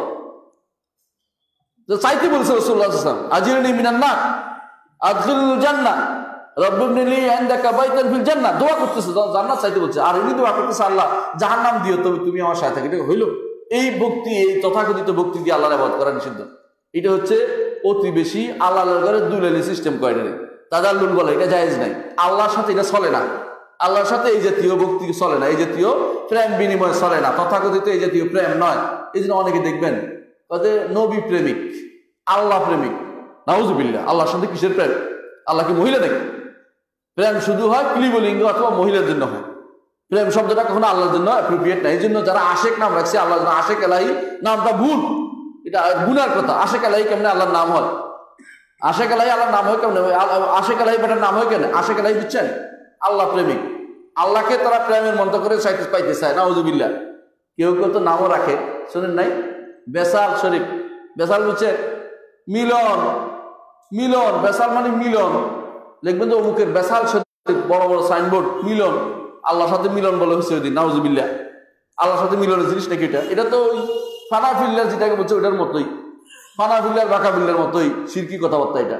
আবার কেউ কেউ লেখে রাখে, কি লেখে? ওরস শরীফ বিয়ে। হজরতের বিয়ে দিছে, কালার কাছে নাউজুবিল্লা এই জন্য ওরস ওরস আর কোনো অর্থ নাই। ইসলামের শব্দটাই নেই। এত বড় মিথ্যা শব্দ, এত মিথ্যা কর্মকাণ্ড আল্লাহ দুনিয়াতে হতে পারে না। অথচ এটাই হচ্ছে। এটা ইসলামের নাম দিয়ে হচ্ছে। আরও মানুষ দাওয়াত দিচ্ছে, মানুষ টাকা দিচ্ছে ওরসের জন্য মানুষকে বিরাট অনুষ্ঠান করছে। আর সেখানে এসে যাদের দিনের সামান্যতম জ্ঞান নাই, তারা এসে বলতেছে যে অমুকের অমুকের বাণী প্রতিষ্ঠা করতে হবে। কিছু বুঝে নাই, শুনে না একটা কয়ে এরকম বহু মানুষ আছে। দেখবেন কিছুই বুঝে না, যাইয়া বলল, লালন সার এই শরীফে আসে বলতেছিল, লালন সার নীতি প্রতিষ্ঠা করতে হবে এখন, সারা বাংলাদেশ। মানবতাবাদ প্রতিষ্ঠা করতে হবে, ফালতু বুঝি প্রতিষ্ঠা করতে হবে সিরিক এবং কুকুর প্রতিষ্ঠা করতে হবে। এর জন্য আবার বলে সময় দিতে হবে নাউজুবিল্লা এই সিরকি কথা কে বলছে প্রতিষ্ঠা করতে পারে কে বলছে বলতে? না জানলে চুপ করে থাক বলো। মান কান ইউমিনু বিল্লাহ ওয়াল ইয়াউমিল আখির, ফালিয়াকুল লিয়াসমুত। রাসূলুল্লাহ সাল্লাল্লাহু আলাইহি ওয়াসাল্লাম বলছেন, কেউ যদি আল্লাহ এবং আখিরাতের উপরে ঈমান রাখে সেজন্য ভালো কথা বলা তো চুপ থাকে। না জানলে চুপ করে থাক। যেটা জানাস বললে কেন? লালন মুসলমান ছিল? কোনদিন বলছে তোমাদেরকে? লালনেরা নিজেরাই বলে যে আমাদেরকে মুসলমান বানাবেন না আপনারা, আমরা মুসলমান নই। আমরা যাই তোদের সাক্ষাৎকার নেন। বলছে, আমাদেরকে আপনাদের দলে ঢুকান কেন? আমরা ভিন্ন জিনিস। ভারতবর্ষের উপাসক সম্প্রদায় অক্ষয় কুমার অক্ষয় কুমার চট্টোপাধ্যায় লিখছে যে আমাদের একটি সম্প্রদায় হচ্ছে লালন সম্প্রদায় সাইজি সম্প্রদায়। ওদের সম্প্রদায় আপনি মুসলমান বানাই ফেলেন ওদেরকে। এবং ওদের মানবতাবাদ প্রচার করতেছেন। কিসের মানবতাবাদ? ও যে গান গায়গুলি কি কুকুরি ছাড়া কিছু আছে নাকি? আগাগোড়া সবগুলি প্রচার করতেছেন আপনি। তাহলে আপনি কিসের ভক্তিবাদ প্রচার করছেন ভক্তিবাদ এই জাতীয় ভক্তিবাদ ইসলামে নাই। ভক্তি কথা কেন বলেন? এই জাতীয় ভক্তি ইসলামে নাই। এক শ্রদ্ধাবোধ আছে, সম্মান করা আছে। উস্তাদকে সম্মান করবে, বাবাকে সম্মান করবে, উস্তাদকে সম্মান করবে, অথবা বড়দেরকে সম্মান করবে তাও কি করবে, এটা আছে। ভক্তি নাম দিয়ে মাথা নিচু করে চলে আসা এবং তাদের যে কোনো ফরমান মেনে নেয়া, এটা না হোক, এটা একমাত্র আল্লাহ ছাড়া কেউ প্রাপ্ত হতে পারে না। আল্লাহ বলি ইজ্জতের সমস্ত কথা বিনা বাক্য মানতে হবে, দুনিয়ার কোনো কেউ কিছু এটা পেতে পারে না। সবাই কথায় কি আছে? ভুল হইতে পারে। এই জন্য ভক্তিবাদী, তথাকথিত এই জিনিসগুলো ইসলামে নাই, এটা মানুষে বানাইছে। দেখেন এরপরে আল খাসিয়া খাসিয়া অর্থ এক ধরনের ভয়, যেটা আমরা লম্বা আলোচনা করব না, বুঝে গেছে, ভয় বুঝে গেছেন আল ইনাবা, ফিরে আসা, আল্লাহ তালা বলছেন আলী বইলা রব্বিকুম ফিরে আসবে কার কাছে? আল্লাহর কাছে। এরা আল্লাহর কাছে ফিরে যায় না। ফিরে যায় কোথায় জানেন? দেরি হয়ে গেলে আবার কবরের কাছে যায়, আবার হুজুরের কাছে যায় মুড়িদ হয়ে গেলে। মুড়ি সবসময় ফিরে আসে, হুজুর মুড়িদের ক্যাবলা ওইদিকে। মুড়িদের ক্যাবলা মুড়িদের ক্যাবলা ফির বাড়ির দিকে। এনা বা ফিরার জায়গা ওইটা। এইটা কুফুরি, শিরিক ছাড়া কিছুই নয়। আবার ইস্তেগাসা, উদ্দা, ইস্তেআনা ইস্তেআনা, সাহায্য চাওয়া। এখন একটা প্রশ্ন হতে সাহায্য চাওয়া বলে, আমি তো সাহায্য চাই, চান না? আপনি সাহায্য চান না? এবার উঠাতে পারতেছি না চেয়ারটা আমার সাহায্য করে দেয় আমার মাইকে লাগাতে সাহায্য করো। এটা তো ঠিক না। এটা বলা হয় না ওই সাহায্য চাওয়া যে সাহায্য মানুষের ক্ষমতার ভিতরে নাই। মানুষের ক্ষমতার ভিতরে নাই। আপনি গর্তে পড়ে গেছেন। আর বললেন যে বাইরে কি আছে আমার উঠাও। এটা সাহায্য চাওয়ার সমস্যা নাই। আপনি গর্তে পড়ে গেছেন, আপনি বললেন যে, আব্দুল কাদের জিলানি আমাকে উঠিয়ে দাও। ঠিক সাহায্য চাইতে পারেন না, কারণ সে অনুপস্থিত। এবং তার এই ক্ষমতা নাই, তার কাছে সাহায্য চাইতে পারেন না আপনি। অনুপস্থিত, যার ক্ষমতা নাই, উপস্থিত তার ক্ষমতা নাই, তার কাছে সাহায্য চাইতে পারেন না। আপনি ওনার কাছে সাহায্য চাইলেন ভাই, আমি তো রোগে আক্রান্ত, আপনি আমার রোগটা ভালো করে দেন, হলো? সাহায্য এই সাহায্য ওনার কাছে চাইতে পারেন? এই সাহায্য চাওয়াটা কি শির কারণ আল্লাহ ছাড়া কেউ এটা করতে পারবে না। ওই যা মারিদ্দু বাহু এসপিন যখন আমি রোগাক্রান্ত হই তিনি আমাকে তিনি আমাকে আরোগ্য দান করেন। আরেকটা হচ্ছে আল ইস্তেগাফা আল ইস্তেআদা আশ্রয় চাওয়া। আগেকার দিনে রসুল্লাহ সাল্লাহ বলেছেন, যখন কোরআনে কারিমের আয়াত, যখন এই আয়াত নাজির হলো ওয়ান্নাহু কানা রিজালুম মিনাল ইনসি ইয়াউযুনা বিরিজালিম মিনাল জিন্নি ফাযাদুহুম রাহাকা সূরা জিনের আয়াতটি কি করতো? তারা তখনকার সময় মুশরিকরা কি করতো? কোনো একটা উপত্যকায় গেলে, কারণ আর কত উপত্যকায় যাইতে বাধ্য? কারণ সমতল ভূমি নেই। উপত্যকায় গেলে কি করতো? ওখানে বলতো? আউযু বিসাইয়্যিদি হাযাল ওয়াদি। এই উপত্যকার বড় যে জিনটা আসো তোমার আশ্রয় যাচ্ছে ছোট ছোট জিনের থেকে। ইয়া, এটা বলতে থাকো তো জিনেরা মনে করতো, আমাদের তো অনেক ক্ষমতা। এই, সে কিন্তু আমার আশ্রয় আছে, যা, তারাই দিত ছোটদেরকে। খুশি হয়ে যেত। বলতো আমার তো অনেক ক্ষমতা। শিরিক করতো, নিজে রব হিসেবে বসে যেত এটা বলা শিরিক। আল্লাহ ছাড়া কারও আশ্রয় যাওয়া শিরিক। একমাত্র আল্লাহই আশ্রয় দিতে পারে। একমাত্র আল্লাহই আশ্রয় দিতে পারে। আর কেউ কোনো আশ্রয় দিতে পারে না। আশ্রয় আল্লাহ। এই জন্য আমরা বলি, কুল আউদু বেরব্বিল ফালাম কুল আউদু বেরব্বিন না আউদু বেওয়াজিকা রসুল্লাহ বলেছেন শিখিয়ে দিচ্ছেন তো ইস্তেহাজা কার জন্য হবে? কার কাছে হবে? একমাত্র আল্লাহর কাছে আর কারও কাছে আশ্রয় নিতে পারে না মানুষ। আমরা এখন আশ্রয় নিতে যাচ্ছি কোথায়? যে আমি বটবৃক্ষের নিচে আশ্রয় নিচ্ছি। নাউজুবিল্লাহ বটবৃক্ষের নিচে আশ্রয় নেই। আপনার আশ্রয় আছি আমি, না? আল্লাহ ছাড়া কেউ কাউকে আশ্রয় দিতে পারে না। এটা মিথ্যা কথা। আল্লাহ একমাত্র আশ্রয় দিবে। আর যার আশ্রয় যাবে শিরিক হয়ে যাবে দুনিয়ার কেউ হয়ে নিজের আশ্রয় দরকার আছে। হে কোথায় কোথেকে আশ্রয় পাবে? হে তো দরকার আছে। হে তো কতক্ষণ অসুস্থ হইতে পারে, বিপদে পড়তে পারে। সুতরাং আশ্রয় দেওয়ার মালিক হচ্ছে একমাত্র আল্লাহ বলি যে তিনি শুধু আশ্রয় দিবেন, আর কেউ আশ্রয় দিতে পারে না। আরেকটা, এরপরে হচ্ছে আলিস থেকে আসা উদ্ধার কামনা। উদ্ধার কামনা, বিপদে পড়ছেন, উদ্ধার কামনা কার কাছে করবে আল্লাহর কাছে। যদি বলে গাউসের আদম করবে, কি হবে? শিরিক হয়ে যাবে। আমি চট্টগ্রাম গেলাম একদিন, গাড়িতে বসে আছে। তো বললাম যে, এই যে লোকটা মারা গেল মাইকে বলতেছে যে, গাউসুল আজম অমুক মারা গেছে। বুঝছেন? গাউসুল আজম, খাজা মহিউদ্দিন মানেরই অমুক মানেরই মারা গেছে। তাই উনি তো গাউসুল আজম, মরে গেলেন কেমনি? বলেন তো। কহা উনি তো ড্রাইভার তো আর বুঝে না। ড্রাইভার বলতেছে যে, আমি সিএন দিতেছিলাম। ড্রাইভার বলছে হ্যাঁ উনি তো গাউসুল আজম ছিলেন। বলে আপনি বলতেছেন? কেন? তো গাউসুল আজম লিখতেন, আমরা সবাই গাউসুল আজম বলতে ওনাকে। তার মানে অর্থ বুঝেন? কেন অর্থ বুঝি না? আল্লাহ আল্লাহ আপনাকে বাঁচাইছে। শুনেন, গাউসুল আজম অর্থ হচ্ছে মহা উদ্ধারকারী। মহা মহা উদ্ধারকারী। তো যদি একজন মানুষ মহা মহা উদ্ধারকারী হয়, আল্লাহ কি জন্য আছে আপনি বলেন তো? কহ এটা তো হতে পারে না। আর তো এটা কেমন বলছেন আপনি? আমি জানি না বলে বলছি। উনি আল্লাহ বাসায় না জান না হয়েছে ভুল হয়েছে গুণ সিঁড়ি করলে আল্লাহ মাফ করে দিন আর তবা করে আল্লাহ কাছে আপনি বলেন না। অথচ লেখা আছে পোস্টারে পোস্টারে গাউসুল আজম অমুক মানেরি, গাউসুল আজম অমুক অমুকে, গাউসুল আজম এরা গাউসুল চট্টগ্রামে গাউসুল আজম দাবি করে বসছে। উনি তো, গাউসুল আজম দাবি করছে। কি সুন্দর, দাবি করলে হয়ে যায়। গাউসুল আজম অর্থ হচ্ছে মহা মহা উদ্ধারকারী। গাউসুল আজমের অভাব নেই এখন।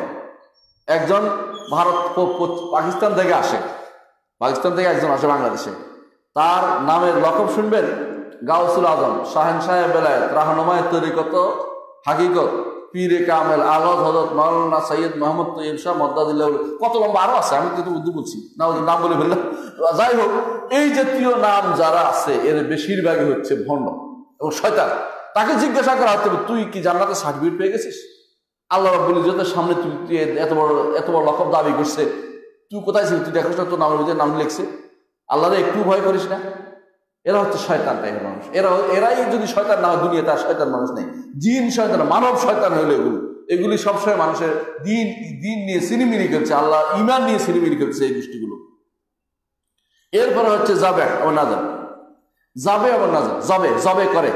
অনেকে করে, বলছে, বললাম যে আপনি যেখানে যাবে করলেন আল্লাহ নামে জবে করছি তো এখানে করলেন কেন? আল্লাহ নামে যদি যাবে করেন, আপনি এখানে করলেন কেন? আপনার উদ্দেশ্য মুখে আল্লাহ হইলেও আপনি উদ্দেশ্য তো ওরা খুশি করা। আপনি উদ্দেশ্য কবরবাসী খুশি করা। আপনি যতই সালাই করেন না কেন, দুনিয়া সবাই বুঝে এটা আপনি কবরবাসী খুশি করার জন্য করছেন। আপনি শিরিক করছেন। অথচ শিরিক করে যাচ্ছে উঠ যায়। কবরে উঠ যায় না? দেখছেন না মাদারে উঠ যায়? মাদারে বড় বড় উঠ যায়। গরু যায়। একটা দুটা নয়, একেবারে ট্রাকে ট্রাকে গরু যাচ্ছে আটরশি আপনি দেখেন না হ্যাঁ? চন্দ্রপুরে তো মানে দুনিয়া সব উঠ চলেই যাচ্ছে ওখানে। কুতুব বাগি দেখলাম যে ঢাকা শহর দখল করে ফার্ম গেটে একটা পার্ক দখল করে সে এ করে। আল্লাহর খাস রহমত নাজিল হয়েছে, যারা এটা উঠে দিছে। বুঝে এই এখানে করা যাবে না, এখন বন্ধ হয়ে গেছে। কুতুব বাগি দখল করে ফেলছিল, ঢাকা শহরে বাগান দখল করে ফেলছিল সব। এগুলি সে নিজের মতো করে এখানে উট, গরু, ছাগল সব জব করতে আরম্ভ করে, তার এখানে আসছে। কি জন্য? সবই হচ্ছে শিরিক। এই জাতীয় শিরিক থেকে মুক্ত থাকতে হবে। তারপর কি বলছে? যে এবাদতের মধ্যে আরেকটা হচ্ছে নজর মানত। এবাদতের মধ্যে আরেকটা হচ্ছে মানত। মানত মানব যে আবাদত কেমন বুঝলেন? আল্লাহ তালা বলছে ইউফু না বিন্যাস মানত একমাত্র আল্লাহর জন্য। মানত করা কিন্তু অনুমোদিত নয়। কিন্তু মানত পূরণ করতে হয় বাধ্যতামূলক। মারণ মানত করতে অনুমতি দেওয়া হয় না। রসুল্লাহ সাল্লাম বলছেন আন্নাদুল আইয়াতি খায়ের মানত কখনো ভালো কিছু নিয়ে আসে না। ওয়াইনামা ইস্তাখরাজবিহি মিনমানিল বকিল। বকিলের সম্পদ থেকে মানত কিছু বের করে নিয়ে আসে। অর্থাৎ আল্লাহ, তুমি আমাকে দিলে আমি তোমাকে দিব। মানত তো এটাই। আল্লাহ, তুমি আমার, তুমি আমাকে ছেলেটা ভালো করে দিলে, আমি তোমাকে দিব। তুমি আমার পরীক্ষার রেজাল্ট ভালো করে দিলে, আমি তোমাকে একশোটা টাকা দিব। এইটা যদি কোনো, এটা মানতের হুকুমটা জেনে নেন। যদি কোনো মানত করছে কেউ, ভালো মানত, যেমন একশো টাকার নামাজ পড়বে, তাহলে একশো টাকা নামাজ করতে হবে না। হ্যাঁ? রসুল্লাহ সাল্লাম বলেছেন মান্না দ্বারা ইউতি আল্লাহ ফালি ইউতে ও মান্না দ্বারা ইয়াসিটা ফালা ইয়াসি। কেউ যদি কোনো আল্লাহর আনুগত্যের মানত করে, এটা করতে হবে তাকে। আর অপরাধের মানত করলে, মানত করছে যে আল্লাহ, যদি আমি ও পরীক্ষায় পাশ করি, তাহলে কি করব? শাহজালালের মাজার জিয়ারত করব। জিয়ারত করতে যাওয়া যায় নেই। এই সফর জায়েজ নেই। যদি মানত করে যায় যদি যদি আমি এটা পাশ করি, তাহলে ওখানে মোমবাতি দিব। এটা দেওয়া যায় নেই। এটা দেওয়া যায় না এই জন্য এই জন্য কাফারা দিতে হইব। সেই কাফারা হচ্ছে তিন দিন রোজা রাখতে হইব। তিন দিন রোজা রাখতে হইব পরপর। কাফারা তুন নাজরে কাফারা তুই আমিন কাফারা যে জিনিস মানুষের হাতে নাই, যে জিনিস দিতে পারে না, ওই জিনিসগুলোর জন্য কাফারা দিতে হইব। কাপড় তিন দিন রোজা রাখতে হইব কমপক্ষে। মানে প্রথমে আসিল গোলাম আজাদ করা, এটা সম্ভব না। দশ দিন দশ দিন, দশ মিসকিনকে খাওয়ানো, দশ মিসের কাপড় দেওয়া দশজনকে এটাও যদি সম্ভব না হয়, তাহলে তিন দিন পর পর রোজা রাখতে হইব। মানে পরপর তিন দিন। একাধার, একাধারে তিন দিন রোজা রাখতে হইব। এগুলো মান্নাতের কাফারা যদি এরকম এমন কোনো কাফারা, এমন কোনো মানত করে যে মানত মানুষ করতে পারে না, আদায় করতে পারে না, সম্ভব নয় বলল যে, আমি সারা বছর রোজা রাখব, এটা করতে সম্ভব? সম্ভব না। তখন এই মানত কাফারা দিতে কিন্তু মানত করতে আল্লাহ নির্দেশ দেন নাই। রসুল্লাহ মানত করতে নির্দেশ কারণ মানত অর্থ হচ্ছে আল্লাহর উপরে ঠেস ধরা। আল্লাহ, তুমি আমার দিলে, আমি তোমার দিব। মাল কার? আল্লাহ। আল্লাহ আপনাকে দিছে, এখন বলতেছেন আল্লাহ, তুমি আমার দিলে। এটা কোনো কথা হলো বরং এর বিপরীতে কাজ হচ্ছে, নিয়ম হচ্ছে, আপনি যে এই জিনিসটা মানত করবেন, এটা করে ফেলেন। করে আল্লাহর কাছে এটা ওসিলা দিয়ে দোয়া করেন। ধরেন আপনি দোয়া মানত করতে চাচ্ছেন যে একটা ছাগল দেবেন, আগে দিয়ে ফেলেন। দিয়ে বলেন আল্লাহ, আমি দিয়ে দিছি। তো আমার দায়িত্ব আমি আদায় করেছি। এর ওসিলায় তুমি চাও। আমি চাই আল্লাহ আমাকে এটা দাও। এটা হচ্ছে শরীর সমর্থিত আমল। এটা হচ্ছে শরীর সমর্থিত ওসিলা। এটা অনুমোদিত, কিন্তু মানত করা যায় নাই। এই জাতীয় মানত শরীর অনুমোদন করে না। কিন্তু মানত করলে দিতে হবে। কারণ মানত করে তুমি বিপদে পড়ছ। এটা হচ্ছে কথা। এই জাতীয় এই জাতীয় যারা করে, এগুলি সবই এবাদতকে অন্যের খাতে বিরাজ করতে। অনেকেই মানত করতেছে, কবরে মানত করে না? করে।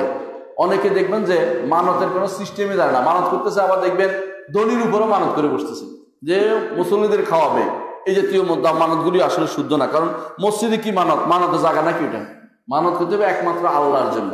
মানত যদি করা যায়, করতে হলে, আর যদি ইচ্ছা করে মানত করতে নিষেধ করছে আজ এমন বলে, এটা যাই যাচ্ছে, কোনটা? যে আমি মানত করলাম যে একশো টাকা নামাজ পড়ব। আল্লাহ দেখ না দেখ এটা যায় এটা অর্থই হচ্ছে ওয়াদা করা। এই মানত হচ্ছে ওয়াদা। এটা যায় যাচ্ছে যে আমি একশো টাকা নফল নামাজ পড়ব। এটা ওয়াদা করতে পারে। এটা পূরণ করতে হবে তাকে। কিন্তু এটা নিষিদ্ধ না। কারণ এটার সাথে কোনো আরেকটা জোরে জুড়ে দেওয়া হয় না যে আল্লাহ যদি দেয়, তাহলে আমি এক রাত নামাজ এটা বলা হয়নি তাহলে ওইটা যায় আছে। যেটা সাধারণ মানত আছে, যেটার সাথে অন্য কোনো জুড়িয়ে দেওয়া হয় না যে তুমি আমার দিলে, আমি তোমার দিব। এরকম জুড়ে না দিলে এটা জায়েজ আছে। তাহলে আমরা বুঝলাম যে এগুলি সবই হচ্ছে এবাদত। এগুলি কি? আবাদত শাইখুল ইসলাম বলতেছেন এগুলি এমন আবাদত যেগুলি আল্লাহ ছাড়া কারোর জন্য হওয়া সম্ভব নয়। আল্লাহ জন্য আল্লাহ ছাড়া কারোর জন্য হইলে সেগুলি কি হয়ে যাবে? শিরিক হয়ে যাবে। বর্তমান বিশ্বে অধিকাংশ জায়গাতে এই শিরিকটাই সবচেয়ে বেশি প্রচলিত, এই শিরিকগুলোই। আপনি যদি কোনো দেখেন আপনার পরিবারের আশেপাশে বিশেষ করে বিশেষ করে যারা নিম্ন আয়ের আছে, এদের মধ্যে আপনি তাহিদের বাড়ি ঢুকাইতে পারবেন না। শিরিক ঢুকাইতে তাদের সহজ। ছেলে অসুস্থ হয়েছে, সঙ্গে সঙ্গে একটা মানত করে বলবে এরপর আসে বলব হুজুর, এটা মানত করছি। এখন মানত কেন করছ তুমি? অথবা দেখবেন যে, হুজুর, এটা করে বলছি করে বলছি। ডাক নিতে আরম্ভ করছে, অসুস্থ রুগী ভাইয়া, সঙ্গে সঙ্গে এই হয়েছে। অথবা আমি একবার কুমিল্লা গেলাম, পাইলাম কি?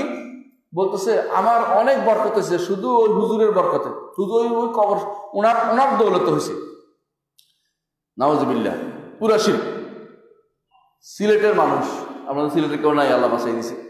সিলেটের মানুষ, তিনি লন্ডনে থাকেন। লন্ডন থেকে আসা একদিন, উনি ইয়া দিচ্ছে, টিভিতে তিনি তার সাক্ষাৎকার নেওয়া হচ্ছে, বড় পয়সাওয়ালা। বাংলাদেশে তাদেরকে উদ্যোক্তা বলা হয়, তাদের মাঝে মাঝে সাক্ষাৎকার নেওয়া হয়। তো সাক্ষাৎকার সময় তিনি বলতেছেন, আমার কিছু না, তিনি তিনি আমাকে দিচ্ছে। তিনি বুঝেন কে? শাহজালাল দিছে। তিনি নামও লইতে রাজি নেই। আল্লাহর কথাও বলে নাই। তিনি তিনি দিছে। পুরা মুশ্রিক, শিরিক। তিনি আর মুশ্রিকের মধ্যে কি পার্থক্য? এই লোকটির মধ্যে আর মুশ্রিকের মধ্যে কি পার্থক্য? কোনো পার্থক্য না তিনি বলবে যে তিনি দিছে। আল্লাহর কথা না বলে তারে সম্পদ কে দিছে উদ্যোক্তা হয়েছে কীভাবে, এগুলি করতে যাই তিনি আমার কিছু নাই। তিনি তিনি তার সবই তার তিনি এই কাজটি করেছেন। কিছু মানুষ এরকম বলতে থাকে, পুরা মুশ্রেক, শিরিকের মধ্যে লিপ্ত তারা। এরা শিরকের মধ্যে লিপ্ত। এই জাতীয় শিরিকের অভাব নেই জাতীয় শিরিক ভর্তি হয়ে আছে। আমাদের সমাজ কলুষিত করছে। দুনিয়ার সমস্ত গুণা নিয়ে গেলেও যদি শিরিক না থাকে রসুল্লাহ সাল্লাম বলেছেন, আল্লাহ তালা বলছেন যে, আতিকে কোরা বিল আর মাগফেরা তুমি যদি কোনো জমিন ভর্তি বালাকা আনানাসামা আসমান পর্যন্ত পৌঁছা তোমার গুণা কিন্তু শিরিক করো নাই, আমি তোমাকে সেই পরিমাণ মাফ নিয়ে তোমার হাজির হব তোমার মাফ করে দেবো। ওলা উবালি আমি পরোয়া করব না। আর যদি শিরিক থাকে, এটা আল্লাহ তালা মাফ করবেন। আল্লাহ বলে দিয়েছে ইয়াগফিরু ইশরাকা বিহি ইয়াগফিরু মা দুনা লিমান ইয়াশা। যে, আল্লাহ তালা শিরিক করা কখনো ক্ষমা করবে না। তিনি এটা ব্যতীত আর যাবতীয় সকল গুনাহ তিনি ক্ষমা করবেন, যাকে ইচ্ছা তাকে। যাকে ইচ্ছা। যাকে ইচ্ছা অর্থ হচ্ছে, কেউ ইচ্ছা করলে পরে ক্ষমা করবেন পরে ক্ষমা করবেন। যখন ইচ্ছা, কাউকে একবারে ক্ষমা করে দিবেন, কাউকে কিছু রেখে দিবেন, শাস্তি দিবেন কবরে শাস্তি দিবেন, হাসরের মাঠে শাস্তি দিবেন। ইমানদার যদি থাকে, শিরিক না করে, তার দশ কারণে গুণা মাফ হয়ে যায়। দুনিয়াতে রোগ ভোগের কারণে মাফ হয়ে যায়। তবে ইস্তেগফারের কারণে মাফ হয়ে যায়। কম মৃত্যুর সময় যে কষ্ট পায়, এর জন্য গুণা মাফ হয়ে যায়। বুঝে আসছে? প্রশ্ন উত্তরের সময় যে কষ্ট পাবে, হা হা, কষ্ট করতে পারে, দেখবে এটার জন্য গুণা মাফ হয়। কবরে আজারের সময় গুণা মাফ হয়। হাসারের মাঠে উঠার পরে সেখানে গুণা মাফ হয়। আর সেখানে কষ্ট পাইলে হাউল ইয়মুল কেয়ামা, কেয়ামতের ভয় দেখতে মাফ হবে। কেয়ামতের কষ্টের কারণে গুণা মাফ হবে। ফুলসে পাড়ার সময় পাঁচ সিঁড়ি গেলে সেখানে গুণা মাফ হবে। তারপর এইভাবে দশটি কারণে গুণা মাফ হয়ে একটা মানুষ জানা যে সত্য হচ্ছে, ইমানদারের সব সুযোগটা আছে। কিন্তু যে শিরিক করবে তার এই সুযোগ কোনোদিন হবে না। সে কোনোদিন জান্নাতে যেতে পারবে না। তার জন্য সবই শেষ হয়ে গেল। একটা মানুষ সবসময় পাহারা দিবে যে, আমার আবাদত যেন, আমার কোনো আবাদত যেন আল্লাহ ছাড়া কারও জন্য না হয়। এটা তার জানা জরুরি কিনা বলেন? এটা অবশ্যই জানা জরুরি। এই জন্য একজন মানুষ সর্ব অবস্থায় সব সময় চিন্তা করবে যে, আমার আবাদতের কোনো অংশ যেন শয়তান এদিকে নিয়ে যেতে না পারে, ওদিকে নিয়ে যেতে না পারে। তাহলে রব তিনি রব যিনি, তিনি আবাদতের যোগ্য। আর আবাদত কি জিনিসটা আমরা জানতে পারলাম? সুতরাং কোনো মানুষ যেন আবাদতের ক্ষেত্রে আল্লাহ ছাড়া কারও আবাদত না করে, এটা যেন খেয়াল রাখে। আমরা এখন কয়েকটি দলিল পেশ করব, সঙ্গে আছে।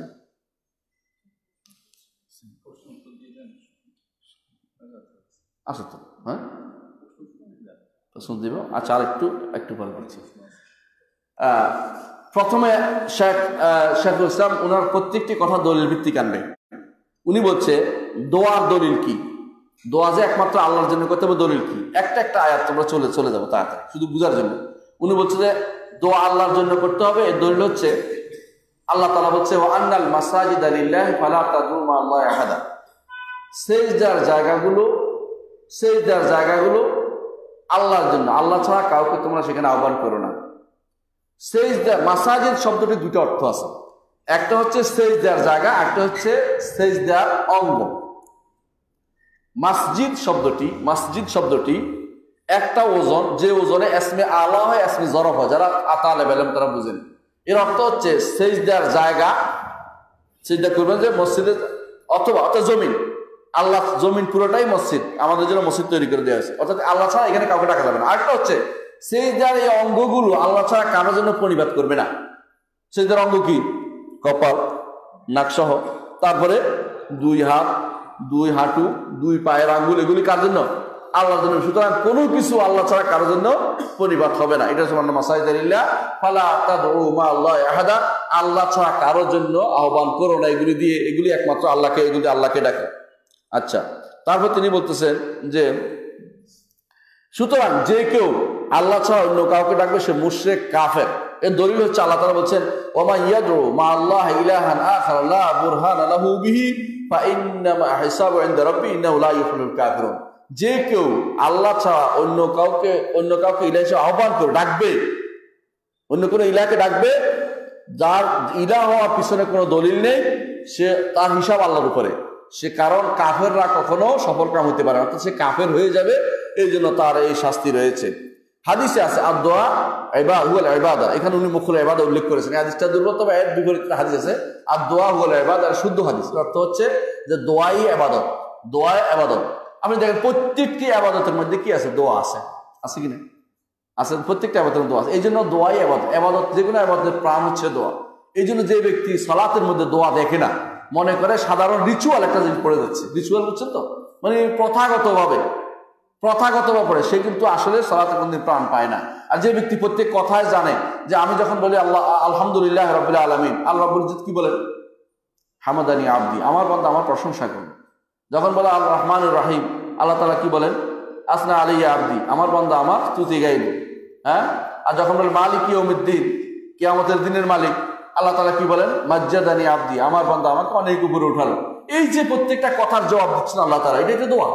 এটা তো আমরা খেয়াল করি না। খেয়াল করলে তো আস্তে আস্তে সলাটটা আদায় করতাম আমরা এমন তাড়াতাড়ি সলাত আদায় করি, যেই সলাতের মূল্য আমরা কোনোদিন বুঝি না। সুরায় ফাতেহা যে কত বড় নিয়ামত আমাদের জন্য। এই নিয়ামত আমরা কখনো অনুভব করতে চাই না যে এই নিয়ামতটাই রসুল কেন সুরাত সলাৎ নাম দিছে এটা? নামাজের নামাজের সুরা। ওইটাই এমনকি কুস্তিমাতে সলাত বাইনি ও বাইনি আব্দিন ইসফাই আমার এবং আমার বন্দার মাঝে সলাৎকে বিভাগ করা হয়েছে। সলাৎ বলতে এরপর বলছেন যে, যখন বন্দা বলে, আলহামদুলিল্লাহ আলম তাহলে সলাৎ বলতে কি বুঝাইছে? সলাৎ বলতে কি বুঝাইছে? সলাৎ বলছে, বুঝাইছে দোয়া ইয়া বলতে বুঝাইছে সলাৎ এখানে সলাৎ বলতে বুঝাইছে সুরে ফাতে বুঝাইছে। এই জন্য দেখেন, আপনি দেখেন, যখন একটা মানুষ বলে আলহাজ্য আরাফা হজ হচ্ছে কিসের নাম? আরাফার নাম। তেমনি ভাবে সলাতের মূল হচ্ছে সুরায় ফাতে এই জিনিসটা বুঝতে হবে আমাদেরকে। সুরায় ফাতে আসা এই জন্য সলাত রাখার শুরুই হচ্ছে এটা দিয়ে। অনেক মানুষ দেখবেন যে সুরায় ফাতেহার কোনো গুরুত্ব নাই। অর্থটার প্রতি কোনো চিন্তা নাই, বুঝার চিন্তা করে না তাদের সলাপ কীভাবে হবে। তারা কীভাবে আশা করতে পারে যে আল্লাহ তাদের ক্ষমা করে দিবেন। এই জন্য দোয়া হচ্ছে সমস্ত আবাদতের মূল, সমস্ত আবাদতের মূল। আর দলিল হচ্ছে আল্লাহ তালা বলছেন, কল রব্বুকুম উদৌনি আস্তাজিব লাকুম। আমাকে ডাকো, আমি তোমাকে ডাকে সাড়া দেবো। ইন্নাল্লাদিন ইস্তাকুন ইবাদতি, যারা আমার আবাদত থেকে দূরে থাকে সৈয়দ ফুরুনা জাহান্নামা দাখিরিন। নিকৃষ্ট উপায়ে তাদেরকে জাহান নামে প্রবেশ করবে তারা। নিকৃষ্ট সাগরিন। হ্যাঁ তারা অত্যন্ত নিচু হয়ে তাদের জাহান নামে প্রবেশ করানো হবে। কেন আন এবাদতি আগের বলছে, আমাকে ডাকো, আমি তোমার ডাকে সাড়া দেবো। তার বলছে, যারা আমার আবাদত করতে অহংকার করে। অর্থ কি? আমাকে ডাকাটা আবাদত যে আবাদত করলে আমি তাকে সাড়া দিতাম। আবাদত না করলে তাকে জাহান নামে নিক্ষেপ করা হবে। তাহলে বোঝা গেছে যে আবাদত একমাত্র আল্লাহর জন্যই করতে হবে। আমরা ইনশাল্লাহ পরবর্তী পর্যায়ে এই বিষয়ে আপনাদের সাথে আবার সাক্ষাৎ হবে। ইনশাল্লাহ এই কিতাবটা পুরোপুরি আমরা আপনাদের সামনে পড়ার চিন্তা ভাবনা করছি। আল্লাহ তালা তৌফিক করুন। সালামু আলাইকুম রহমতুল্লাহ ওবরাকাত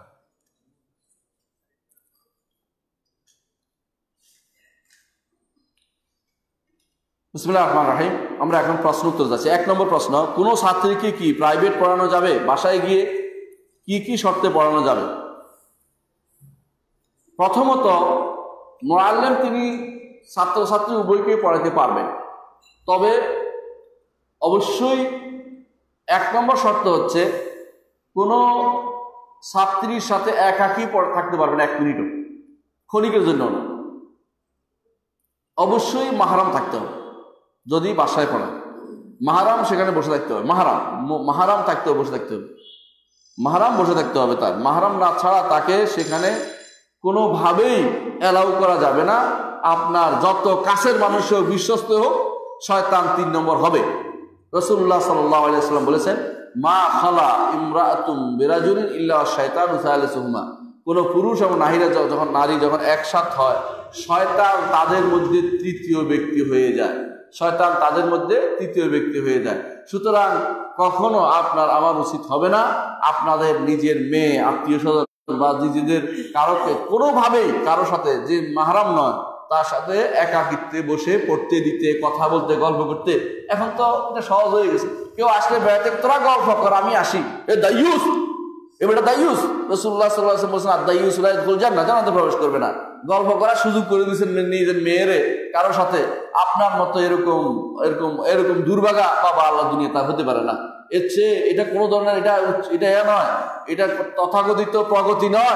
এটা হচ্ছে নিজের তথাকথিত অবনতি, এছাড়া কিছুই নয়। নিজেকে সর্বশেষ করে, শেষ করে দেওয়ার নিজের মেয়েকে, নিজের পরিবারকে ধ্বংস করার একটা প্রবণতা। ডেকে নিয়ে আসে, অনেকে দেখা যায়। আসে, অথচ অমুক আসছে, আমার বন্ধু আসছে, দেখা করে আসে। এই দেখা করা হারাম। কখনো যাবেন না। মেয়েরা যাবে না, ছেলেরা কখনো কখনো এদের ডেকে দিবেন না। আর আপনি মানা করবেন, আপনি যদি কোনো মেহমান হন, যে আমার কাছে তো কোনো মেয়েরা আসে না, আমাকে মানা করে দেন। আমি সালাম দিচ্ছি, দূর থেকে সালাম নেগেটিভ, ভালো, যথেষ্ট। বিদায় করে দেন। কখনো জায়েজ নাই। এই জন্য কখনো পর্দার অন্তরাল হলে সেখানে কখনো যাওয়া যাবে না। আমাকে কয়দিন ধরে একজন প্রশ্ন করতেছে, তিনি পড়াতে চান। পড়াতে চান এক নারীকে, যে ঢাকা বিশ্ববিদ্যালয়ের এক ছাত্র, যে তার মা বসে থাকবে অথবা দরজা খোলা থাকবে, জায়জ আছে কিনা? দরজা খোলা থাকলে জায়জ হবে না। দরজা খোলা যাবে কারণ দরজা তো কিছু যা বড় কিছু এমনি চোখের চোখের মধ্যে আসতে পারে। শয়তানি শুরু হতে কোনো সময় লাগে না, জায়জ হবে না, তাকে বলে দিলাম। এই জন্য ছাত্রীকে প্রাইভেট পড়ানোর জন্য বাসায় গিয়ে পড়াইতে হলে মেয়েদের মেয়েরা পড়াবে, ছেলেদের ছেলেরা পড়াবে, কিন্তু মেয়ে ছেলেকে, ছেলে মেয়েকে পড়াইতে পারবে না। পড়াইতে হলে মাহারাম থাকতে হবে, বসে থাকতে হবে। মাহারাম যখন রাখে তখন যেতে হবে, নাহলে সেখানে পড়ানো যাবে না। এখন বলতে পারেন বাইরে পড়াতে পারবে কিনা। যদি উন্মুক্ত জায়গা হয় বা উন্মুক্ত ক্লাস আছে, সেখানে পর্দা পুরুষরা সব ভিন্ন ভিন্ন থাকে, অনেক মানুষ থাকে, সেখানে পড়াইতে পারবে। কারণ এটা উন্মুক্ত জায়গা, উন্মুক্ত জায়গাতে পড়াইতে কোনো নিষেধাজ্ঞা নাই। রসুল্লাহ সাল্লাহ মসজিদে নারীরা, পুরুষরা সবাই আসতো, ভিন্ন ভিন্ন জায়গাতে বসতো। শুনতো সেরকম পর্দার ব্যবস্থা থাকলে বা সেরকম পর্দাওয়ালা নারী হলে ভিন্ন ভিন্ন বসলে সেখানে পড়ানো যাবে। তবে তবে কি? এমন এমন কোনো অঙ্গভঙ্গি করা যাবে না যেটা নারীদেরকে আকর্ষণ করবে বা পুরুষরাও, কোনো নারী টিচারও এমন কোনো অঙ্গভঙ্গি করবে না, কোনো পুরুষের সাথে যেটা তাদেরকে আকর্ষণ করবে।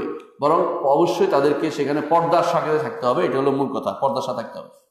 আসসালাম আলাইকুম, আমার রুমমেট তাকে ফদরের নামাজে ডাকতে নিষেধ করেছেন। এবারে এখন আমার করণীয় কি? অত্যন্ত দুঃখজনক অত্যন্ত দুঃখজনক। তাকে প্রথমে আগে বুঝান জিনিসটা ফদর নামাজের গুরুত্ব সব কি বুঝান, ধীরে ধীরে তাকে বুঝাতে চেষ্টা করুন। তাকে বলেন যে সলাদ ত্যাগ করলে কাফের হয়ে যায়।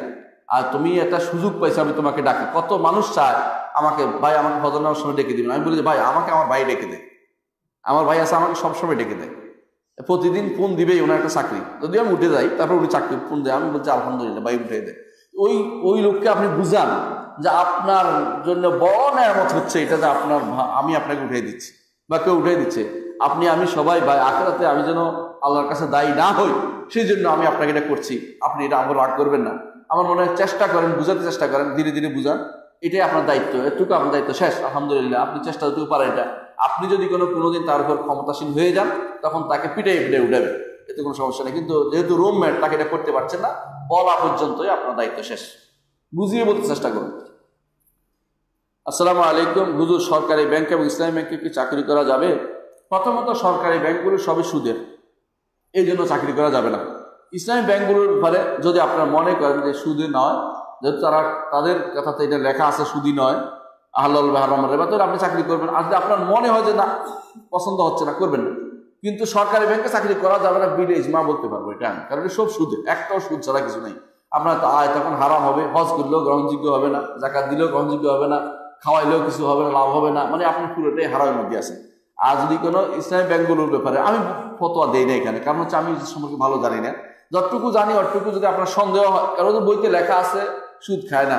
এখন আপনার সন্দেহ হয় যে সুদ খায় মনে হয়, তাহলে যাও চাকরি করবেন না।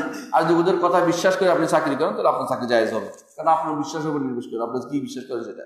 কিন্তু আমি এদের সম্পর্কে পরিপূর্ণ ধারণা দিতে পারব না।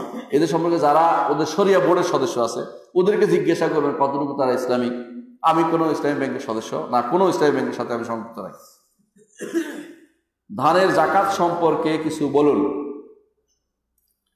ধান মারার পর সম্পূর্ণ ধানের কি জাকাত প্রদান করতে হবে, নাকি শ্রমিকদের দেওয়ার পর যেটুকু ধান চাষির ঘরে উঠবে তার উপর জাকাত দিতে হবে?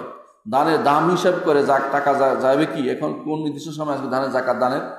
প্রথম কথা হচ্ছে, ধানের জাকাত, ধান জিনিস, ধান, ধানের জাকাতটা হবে হয় হবে তিনটা অংশ। একটা হচ্ছে হয় দশ ভাগের এক ভাগ, না হলে বিশ ভাগের এক ভাগ। বুঝতে পারছেন? হয় কত? দশ ভাগ এক ভাগ। যদি কোনো কিছু লাগে নাই, আল্লাহ দেয়া পানিতে হয়ে গেছে, আপনি শুধু বীজ বনে আসছেন, আলহামদুলিল্লাহ দান হয়ে গেছে। বাজার দান হইতো একসময় আমাদের দেশে। এটা এমনি হয়ে যেত, পানিতে উঠতো, এটা উঠতো করে দিয়ে এক একটা দশাত লম্বা হয়ে যেত। তো এগুলি হইতো, এগুলি কোনো কোনো পরিশ্রম থাকতো না। এগুলি হচ্ছে দশ, কত? দশ পার্সেন্ট দিতে হবে। দশ পার্সেন্ট দিতে হবে, দশ ভাগের এক ভাগ দিতে হবে।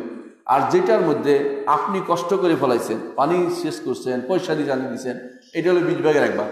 আর যেটার মধ্যে আল্লাহ তালাও পানি দিচ্ছে বেশি, আপনিও কিছু কষ্ট করছেন, এখানে দিতে হবে সাড়ে সাত পার্সেন্ট, সাড়ে সাত পার্সেন্ট। তাহলে বোঝা গেল যে এই জাতীয় জিনিসের খরচটা আপনি কি করবেন? বর্তমান সময় যেখানে খরচ হয়, সেখানে আর দশ ভাগের এক ভাগ নাই। বুঝে আসছে কথাটা। তখন আপনার চলে আসবে অটোমেটিক চলে আসবে, বিশ ভাগের এক ভাগ অথবা সাড়ে সাত পার্সেন্টে মানে চলে আসবে, পাঁচ ভাগ, পাঁচ পার্সেন্ট বা সাড়ে সাত পার্সেন্ট চলে আসবে। তখন এই চলে আসাটা কারণ হচ্ছে খরচটা বাদ দিয়েই আপনার এটার উপর আসতেছে। সুতরাং খরচটা পরে আর বাদ যাবে না। কারণ এটা এটার হুকুমের ভিতরে কমে আসছে তো। আপনি যেখানে, আপনি দশ ভাগের এক ভাগ দিচ্ছেন, এখন বিশ ভাগের এক ভাগ দিচ্ছেন, কম দিচ্ছেন না। অথবা আপনি সাড়ে সাত পার্সেন্ট দিচ্ছেন, কম দিচ্ছেন না। এর অর্থ হলো আপনার খরচটা এর মাঝে থেকে বাদ যাচ্ছে। বুঝে আসছে? এইখানে আপনি যে বলেছেন যে মারা টানার হিসাব নয় বা দাম দিবেন দাম দিতে পারবেন না। এখানে দিবেন, যেটা উৎপন্ন হয়েছে এটাই দিবেন। কারণ এটা স্পেশালি এটার নিয়মে এটার থেকে দেয়া। এই জন্য আপনাকে যদ্দূর হয়েছে দূর থেকে আপনি দিবেন। কেমন? এখন প্রশ্ন হচ্ছে একটা, সেটা হচ্ছে, এটার নেশাব আছে কিনা? নেশাব আসলে আছে। নেশাব আছে। পাঁচ ওয়াসাক পর্যন্ত জাকাত নাই। এটা ছোট্ট একটা জিনিস। যেটা প্রত্যেকটা নেশাব আছে, নেশাব থাকবে না কেন? ইমাম আবু হানিফা রহমতুল্লাহ যেটা বলছেন যে যা অল্প ব্যয় সবার দিতে হবে, এটা কিন্তু ঠিক না বিশুদ্ধ মত হচ্ছে এটা একটা নেশাব আছে। পাঁচ ওয়াসাক পর্যন্ত, প্রায় ছয়শো সত্তর কেজি পর্যন্ত আপনার কোনো জাকাত নাই। এর বেশি হলে তখন আপনার মধ্যে জাকাত আসবে। এর এর আগ পর্যন্ত এত কম হলে এই ফলের পর এইটার উপরে কোনো জাকাত নাই। এটা হচ্ছে বিশুদ্ধ মত। আমি একজন সরকারি চাকরিজীবী। আমার বেতন হতে কর্তনকৃত জিপি ফান্ড। জিপি ফান্ড মানে আচ্ছা যাক, জিপি ফান্ড বুঝছি। হ্যাঁ এর উপর সরকার নির্ধারিত সুদ দিয়ে থাকে। এই সুদ আমার জন্য বৈধ হবে কি? দুইটা জিনিস আছে। একটা হচ্ছে সরকার আপনার একটা ফান্ড কাটে। দুইটা জিনিস আছে শুনে নেবেন খুব গুরুত্বের সাথে শুনবেন। আপনার থেকে ধরেন আমাদের আমরা সরকারি চাকরিজীবী আমরা স্বায়ত্তশাসিত প্রতিষ্ঠান চাকরি করি সরকারি না। কিন্তু সরকার আমাদের আমরা আমাদের থেকে একটা ফান্ড কাটে আমাদের যে এ, এটার কি ইয়া বলে পেনশন ফান্ড পেনশনের একটা কাটে একটা অংশ কাটে হ্যাঁ? তো এটা থেকে প্রভিডেন্ট ফান্ড প্রভিডেন্ট ফান্ড থেকে একটা কাটে আমাদের প্রতি মাসে। তো এইটা কি করে? এটা আবার সুদে খাটায় তারা। খাটাইয়া যত আছে তত বাড়াইতে বাড়াইতে দেয়। তো কিছু মানুষ আছে এই সুবিধা নেওয়ার জন্য তারা ইচ্ছা করলে বেশি ওখানে খাটাইতে পারে। বলে যে আমার পাঁচ দশ পার্সেন্ট আমার পঞ্চাশ পার্সেন্ট কাটে। সুদ খাওয়ার জন্য। আমি অনেকের নাম শুনছি তিনি সুদ খাওয়ার জন্য বেশি কাটাচ্ছেন আর এমনি নাকে না দেয় থাকেন। কি জন্য? হারাম হারাম খাচ্ছেন, হারাম। পুরোটাই হারাম। হারাম, কোনো সন্দেহ নেই। হারাম। এই জন্য আমরা কি করেছি? দরখাস্ত লিখেছি যে আমাদের এটা সুদে কাটানো যাবে না। লিখে দিচ্ছি সুদ মুক্ত আমরা যা টাকা আমাদের কাটে ওইটাই থাকে। আলহামদুলিল্লাহ, মাঝে মধ্যে এটা নেই, এটা আবার ফেরত দিয়ে দিই। আমাদের কোনো সুদ টুদ কাটাতে হয় না। আলহামদুলিল্লাহ, এরকম ব্যবস্থা করতে পারলে ভালো। যদি এরকম ব্যবস্থা না করা যায়, তাহলে আমরা এটা জোর করে অনেকটা করেছি। আলহামদুলিল্লাহ মেনে নিছি। যদি এরকম ব্যবস্থা সাহায্য প্রতিষ্ঠান হওয়ার কারণে এটা করা গেছে। যদি এরকম করা না যায়, যদি আপনাকে সুদ দেয় বাধ্যতামূলক, আর কর্তনটাও বাধ্যতামূলক হয়ে গেছে, কাটেই, ইচ্ছা করলে আপনাকে ছাড় দিবে না। তাহলে আপনি যখন চাকরি শেষ করবেন, যা আপনার কাট আপনার থেকে কর্তন করছে, অটুকু নেবেন, এর বাইরে সুদ যেটা, এটা নিতে পারবেন না। আপনার সাথে যদি বিশ হাজার টাকা কাটছে, আপনাকে আরও বিশ হাজার টাকা দিয়ে আপনাকে বিদায় করে দিবে। এটা নেওয়া যায় যাচ্ছে এটা কোনো সুদের সাথে সম্পৃক্ততা নেই। কিন্তু বেশিরভাগই এখন এটার সাথে সম্পৃক্ত আমরা আলোচনা করছি না। ওইটা জায়েজ না, যেটা আপনার থেকে জোর, আপনার থেকে কাটা হচ্ছে, সুদে কাটানো হচ্ছে, এটার কোনো অংশ নেওয়া জায়েজ না, সম্পূর্ণরূপে সুদ বলে বিবেচিত হবে, এটা খাওয়া হারাম, এটা বৈধ হবে না। বুঝছেন কথাটা? কবরের জীবন সম্পর্কে কিছু বলবেন, স্যার? মৃত্যুর পরে মানুষের অবস্থা?